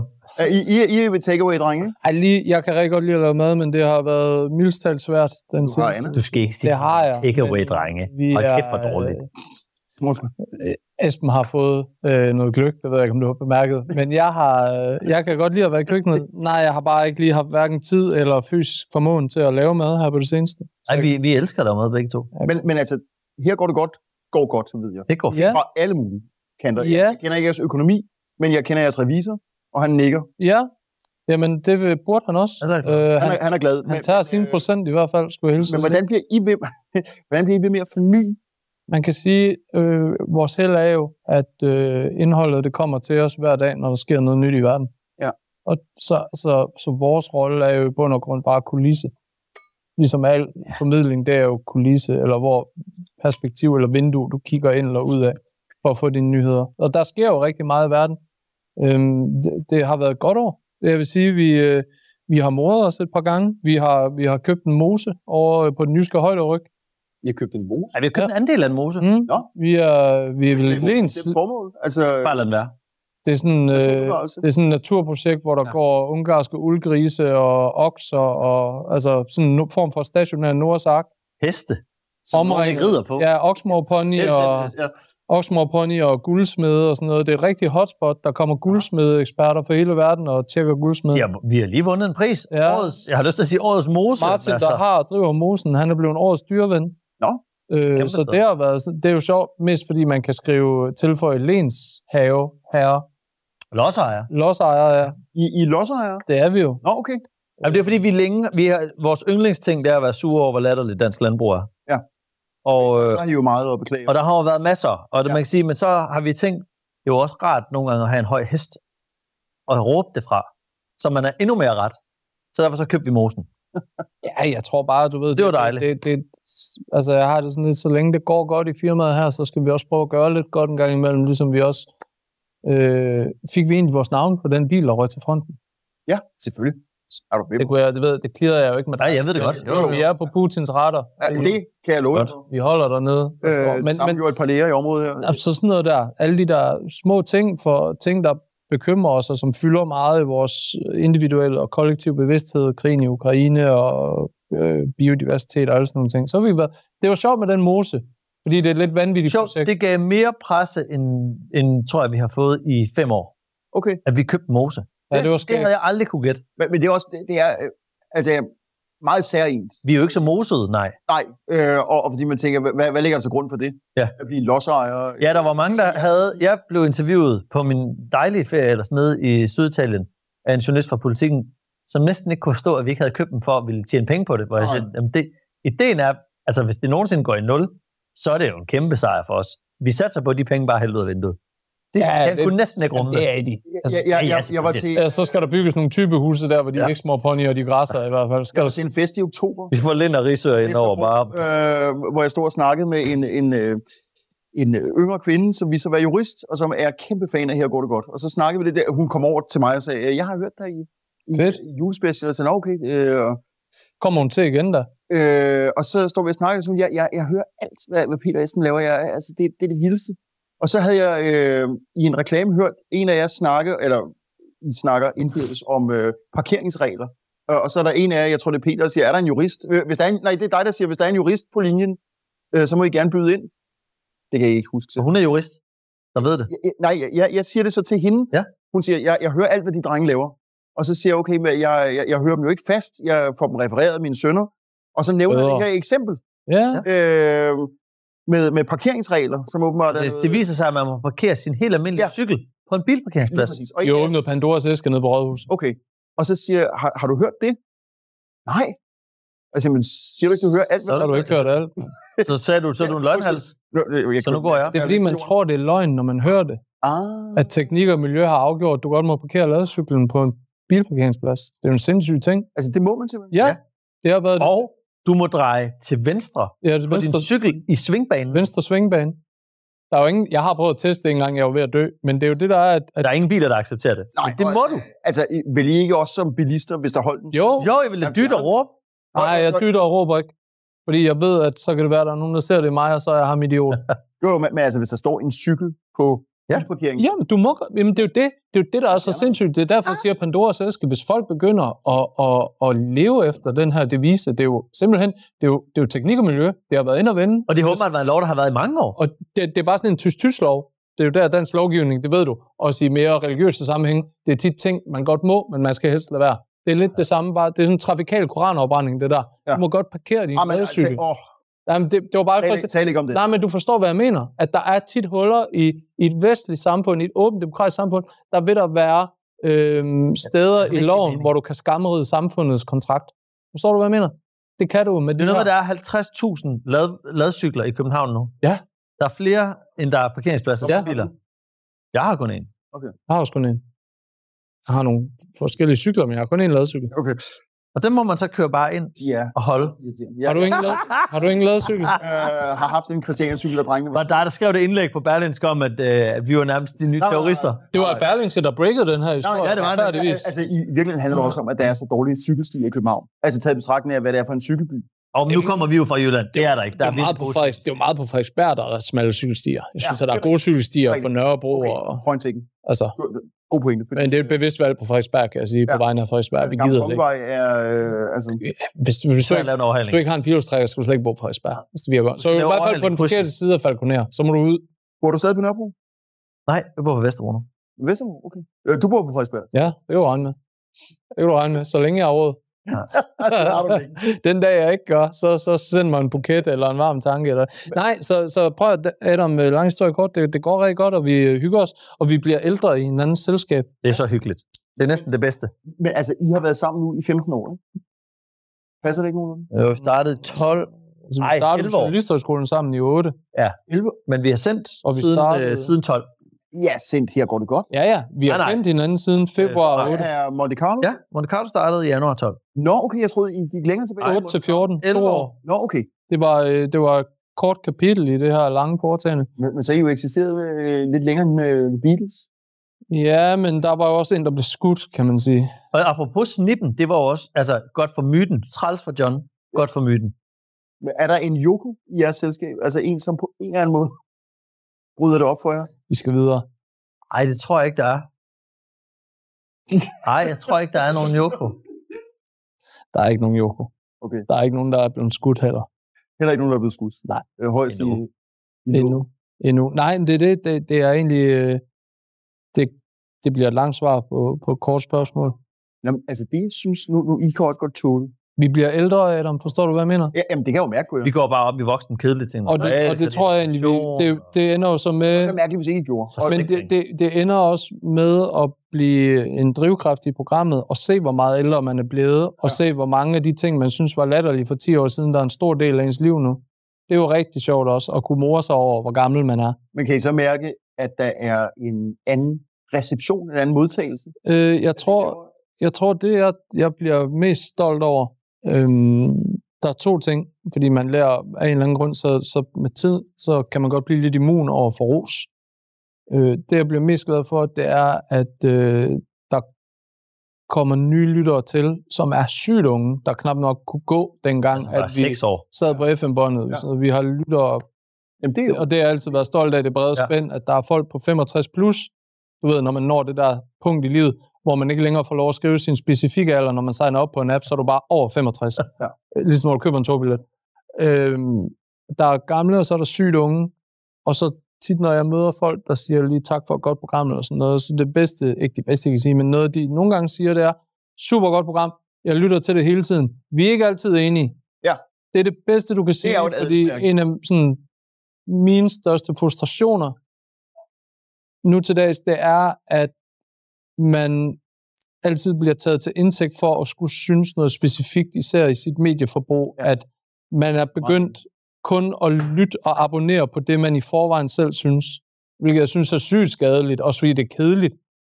Ja, og medier indretter sig efter. Og det er sådan, Hvem at alle tænker, medier, du kan se, de cater Og, og politikken. jeg, jeg er ked af at være meget enig med jer her, men det er faktisk. Altså, Nej, men det er jo bare sådan, folk de abonnerer på Berlingske, fordi de synes noget, de abonnerer på politikken, fordi de synes noget, og får deres nyheder i stedet fra. Så når folk siger til mig, der var vi godt nok uenige, men tak for et super fedt program. Ja. det bliver jeg super glad for, fordi det viser også, at programmet stadigvæk udfordrer folk. Det fedeste er jo, at der faktisk er landmænd, ja, der lytter med. Jamen, kan Altså, du huske, sidst vi tog telefonen, der var der en, der sad på en benmilsfabrik op i Skagen. Ja, ja. Sad og most uh, alle Henning Kelsens øh, fiskeknogler til Så sådan nogle, sådan nogle ting bliver jeg super glad for. Ja. Også fordi jeg tit selv, vi snakkede tit med øh, mig og Rune Lykkeberg, vi er de to eneste herhjemme, der tør at stå ved, at vi rent faktisk lytter meget til Joe Rogan. Øh, fordi, uh, nej, det er farligt, og han synes ikke, vaccinerne var en god idé, og han taler med folk, der mener noget andet, end de gør på New York Times og sådan noget, hvor jeg synes, den der sarthed over for, hvad man må eksponeres for hele tiden, jeg synes, det er noget af det værste, der er sket ja. i min levetid. Hvor sådan, hvordan kan du ikke tåle at høre noget, du ikke er enig i? Hvordan er vi nået et punkt, hvor folk ikke nok med, de slukker for noget, fordi de ikke er enige, også aktivt prøver at afholde andre fra at høre det. Jeg synes, den sarthed, den er så ynkelig som noget, der er sket i min Jeg er levetid. meget, meget enig, Peter. Og det er jeg bare rigtig glad for, at har folk... 117 tilsvarende eksempler. Altså, selvfølgelig skal man ind imellem, for eksempel i den øh, rolle, jeg har, øh, læse noget, som ikke er øh, på ingen måde flugter med det, jeg selv Klart. mener. Altså, jeg, jeg har, øh, nu er jeg jo selvfølgelig ikke, øh, hvad skal vi sige, gennemført jøde, men jeg har jødiske rødder, jeg har siddet og læst mig en kamp. Jeg har Ja, ja, siddet med Adolf Hitlers bind 1 og 2 og læst det. Ja, øh, og og skaldet som jeg er, og, og lidt øh, groft sådan udseende. Øh, jeg har dog ikke siddet sådan øh, her i Ørstedsparken og ligge og læse, men altså, jeg, jeg, jeg har dog øh, haft den frem, og, og folk kommer og siger, okay, der ligger mig en kamp, øh, hvad, hvad sker der? Altså, know thy enemy. Ja. Altså, man bliver jo nødt til at læse og begribe, hvad det er for et tankesæt, Jamen, det- der har præget en det stor synes del jeg da. Og også det der med, jeg, jeg Jeg tror, tænker, det har vi også brugt mange år på, ligesom at jamen, sige, at man skal jo. en ting er det er research, men også bare generelt tendensen over for folk, der er fundamentalt enige med dig selv. Sådan, måden, det bliver brugt på af stort set alle mennesker nu ja. til dags. Jeg synes, det er så ynkeligt. Jeg så for nylig, hvad er han hedder. Ham, øh, skyttegrav, Peter. Altså, skø, jamen, hvad, hvad er det, han hedder? Ham, øh, social, ham konfirmanden på Holbæk. Hvad er det, han hedder? Øh, ham, der altid Jørgen ser lidt Kåre. Dybvad? Ja, Kåre Dybvad. Ja. Kåre- Jeg så Kåre Dybvad i sidste uge, en af landets øh, højst profilerede politikere, på godt og ondt. Han stod og sagde, at de mennesker, der stod og demonstrerede inden for en Christiansborg med Palæstina-flag, de var fejlintegreret. Ja. Hvor jeg sådan, hvad snakker du om? De står og demonstrerer. Det er Det- hele det er det princippet bedste. med det. Ja. Det, er sådan, det kan ikke blive Peter, bedre hvor- hvor er integration. det, hvor, jeg har tænkt, Så kan jeg bare sige, jeg Men synes, de er har sådan, fejl. sådan, hvordan kan du Ja. sige det? Din ølkasse bøv. Altså, hvad, sådan, hvad snakker du om? Altså, jeg er meget, meget enig, og jeg bryder mig meget lidt om øh, nogle af de hårde udsagn, der kommer fra demonstranterne. det gør Men jeg jeg over heller for det. ikke. For, for 10 år siden, Men det er ord. Fuldstændig. Og for Altså- 10 år siden, der efterlyste vi i forbindelse med Mohammed-striden, Ja, de, integ- at de engagerede sig i det danske samfund. at de skulle demonstrere ja. og skrive læserbreve. Og nu gør det det. Første de- gang, Ja. at de står inden for en Christiansborg i en, i en velvarslet demo, En politianmeldt. så får Ja. de at vide, Har været inde at på de er fejlintegreret. Hvor jeg sådan, Ja. hvad snakker du om? Ja. Og, ud, og jeg ved jo godt motivationen bag det. Det er jo sarthed. Det er jo sarthed, fordi de ikke mener det samme som Ja. ham. Fuldstændig. Og sådan, det, for mig, der er jeg bare sådan, fair nok, men hvordan kan du være så bange for det? Hvordan kan du være så bange for, at der er nogen, der mener noget andet end dig selv? Altså, Ja, ja. jeg synes, det er så sart. Og, og, og jeg synes, det er en, en fattiggørelse af al offentlig samtale, at vi ikke tåler øh, faktisk at blive øh, hundet, spottet og latterliggjort, uden at man behøver at have det som ens mål, at man skal genere andre, så så skal man kunne tåle Det, at, at lytte til Ja, synspunkter. plus, Det er jo det, er jo også meget sjældent, at, at når det ligesom bliver brugt som en kritik, at det rent faktisk var personligt på dig. Det er jo, det er jo typisk sådan noget, nu var der den der sag fra Københavns Universitet, med at der var blevet brugt nogle ord i en forelæsning. Ja. Som jeg forstår det, så er det ikke sådan, ja, så er det jo ikke sådan, at der er en eller anden, der er blevet peget ud i salen, Nej. som dig. Ha, ha, ha. Altså, det er jo i en anden begrebsliggørelse af det, så det er jo sådan, det, det hænger jo ikke sammen, hvis vi ikke må snakke om, altså, vi snakker om med vores børn derhjemme, sådan, hvordan, hvordan er det, de opdrager børn i gamle ja. bøger. Med Emil, vi læser Emil fra Lønneberg, sådan, det var måske ikke super duper at låse sit barn inden og tæske ham. Og så kan vi snakke om det. Altså, Nå, han bliver jo god til at været træfigurer. Han er jo sygt provokerende.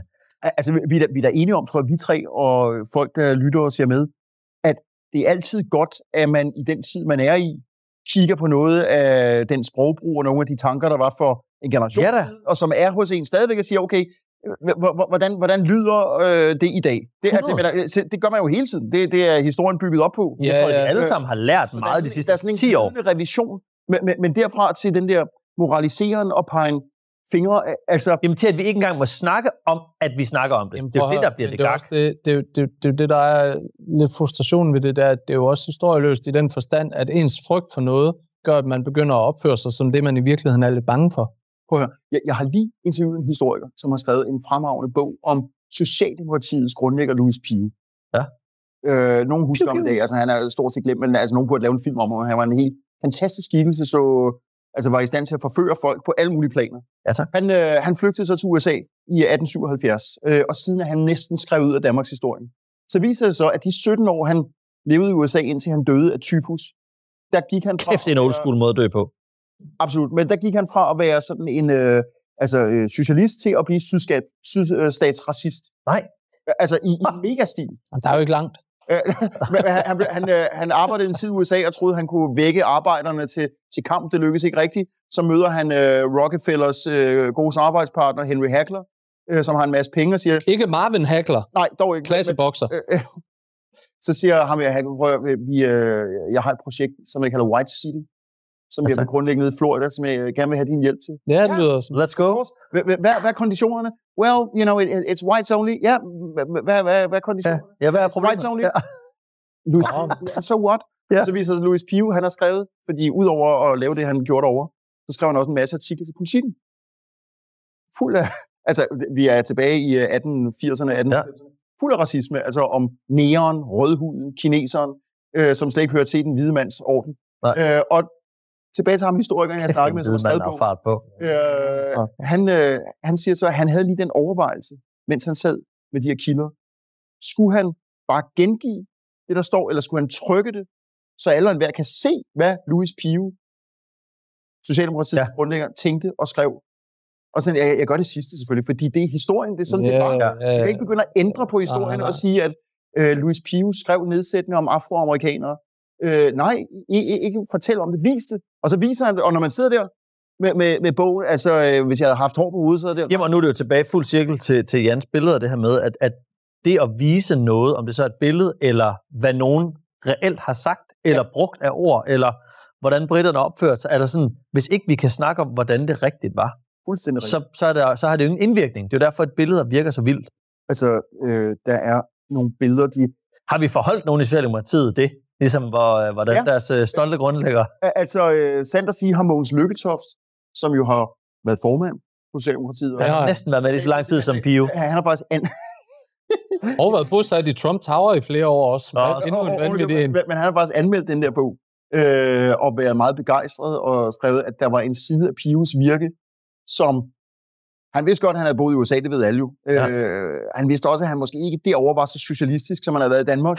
øh, Så det gjorde noget. Men, øh, men Nej. at han øh, altså gik hen og blev altså white supremacist, øh, who would have known.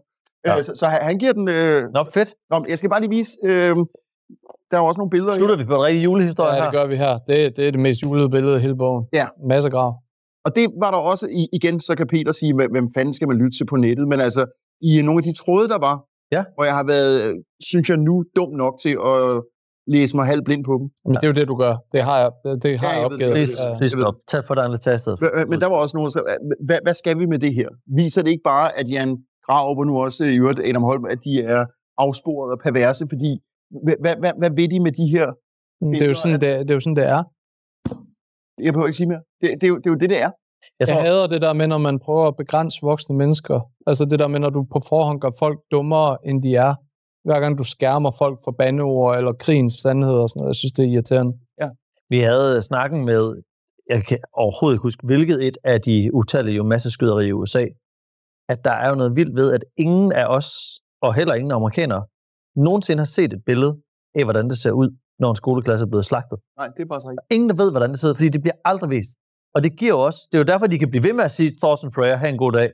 Næste gang, så vi skal have flere pistoler til. Det er rigtig god point. Det er jo det der med, vi ser ikke, hvor vildt det er. Det der med en seksårig, som vi jo ser fra Gaza, vi ser jo fra Israel, vi ser de der billeder, det ser fucking Det er jo det er sindssygt også, ud. fordi de ved, at de er bløde og ser.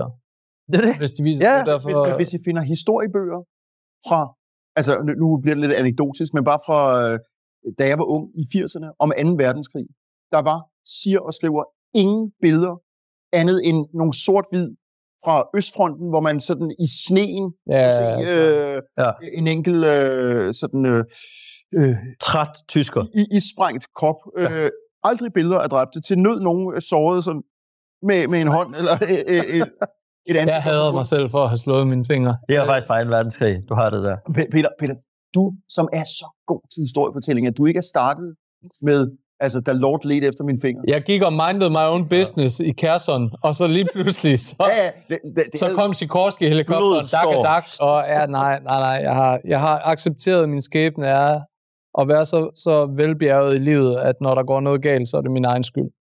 Adam, øh, vi vil jo som sædvanligt hellere gerne invitere dig på øh, et presset fjerkræ nede i et stueetage, men er det noget med, du faktisk skal på voksenarbejde igen, igen, igen? Øh, Og jeg, jeg skal være ude her klokken 1 til... Hvad, hvad skal der ske i dag derude? Vi kører lige en hurtig efterkritik for, i programmet. Ja. Jeg tror, det her er det første gang, at vi ikke har snakket om noget, vi har snakket om før.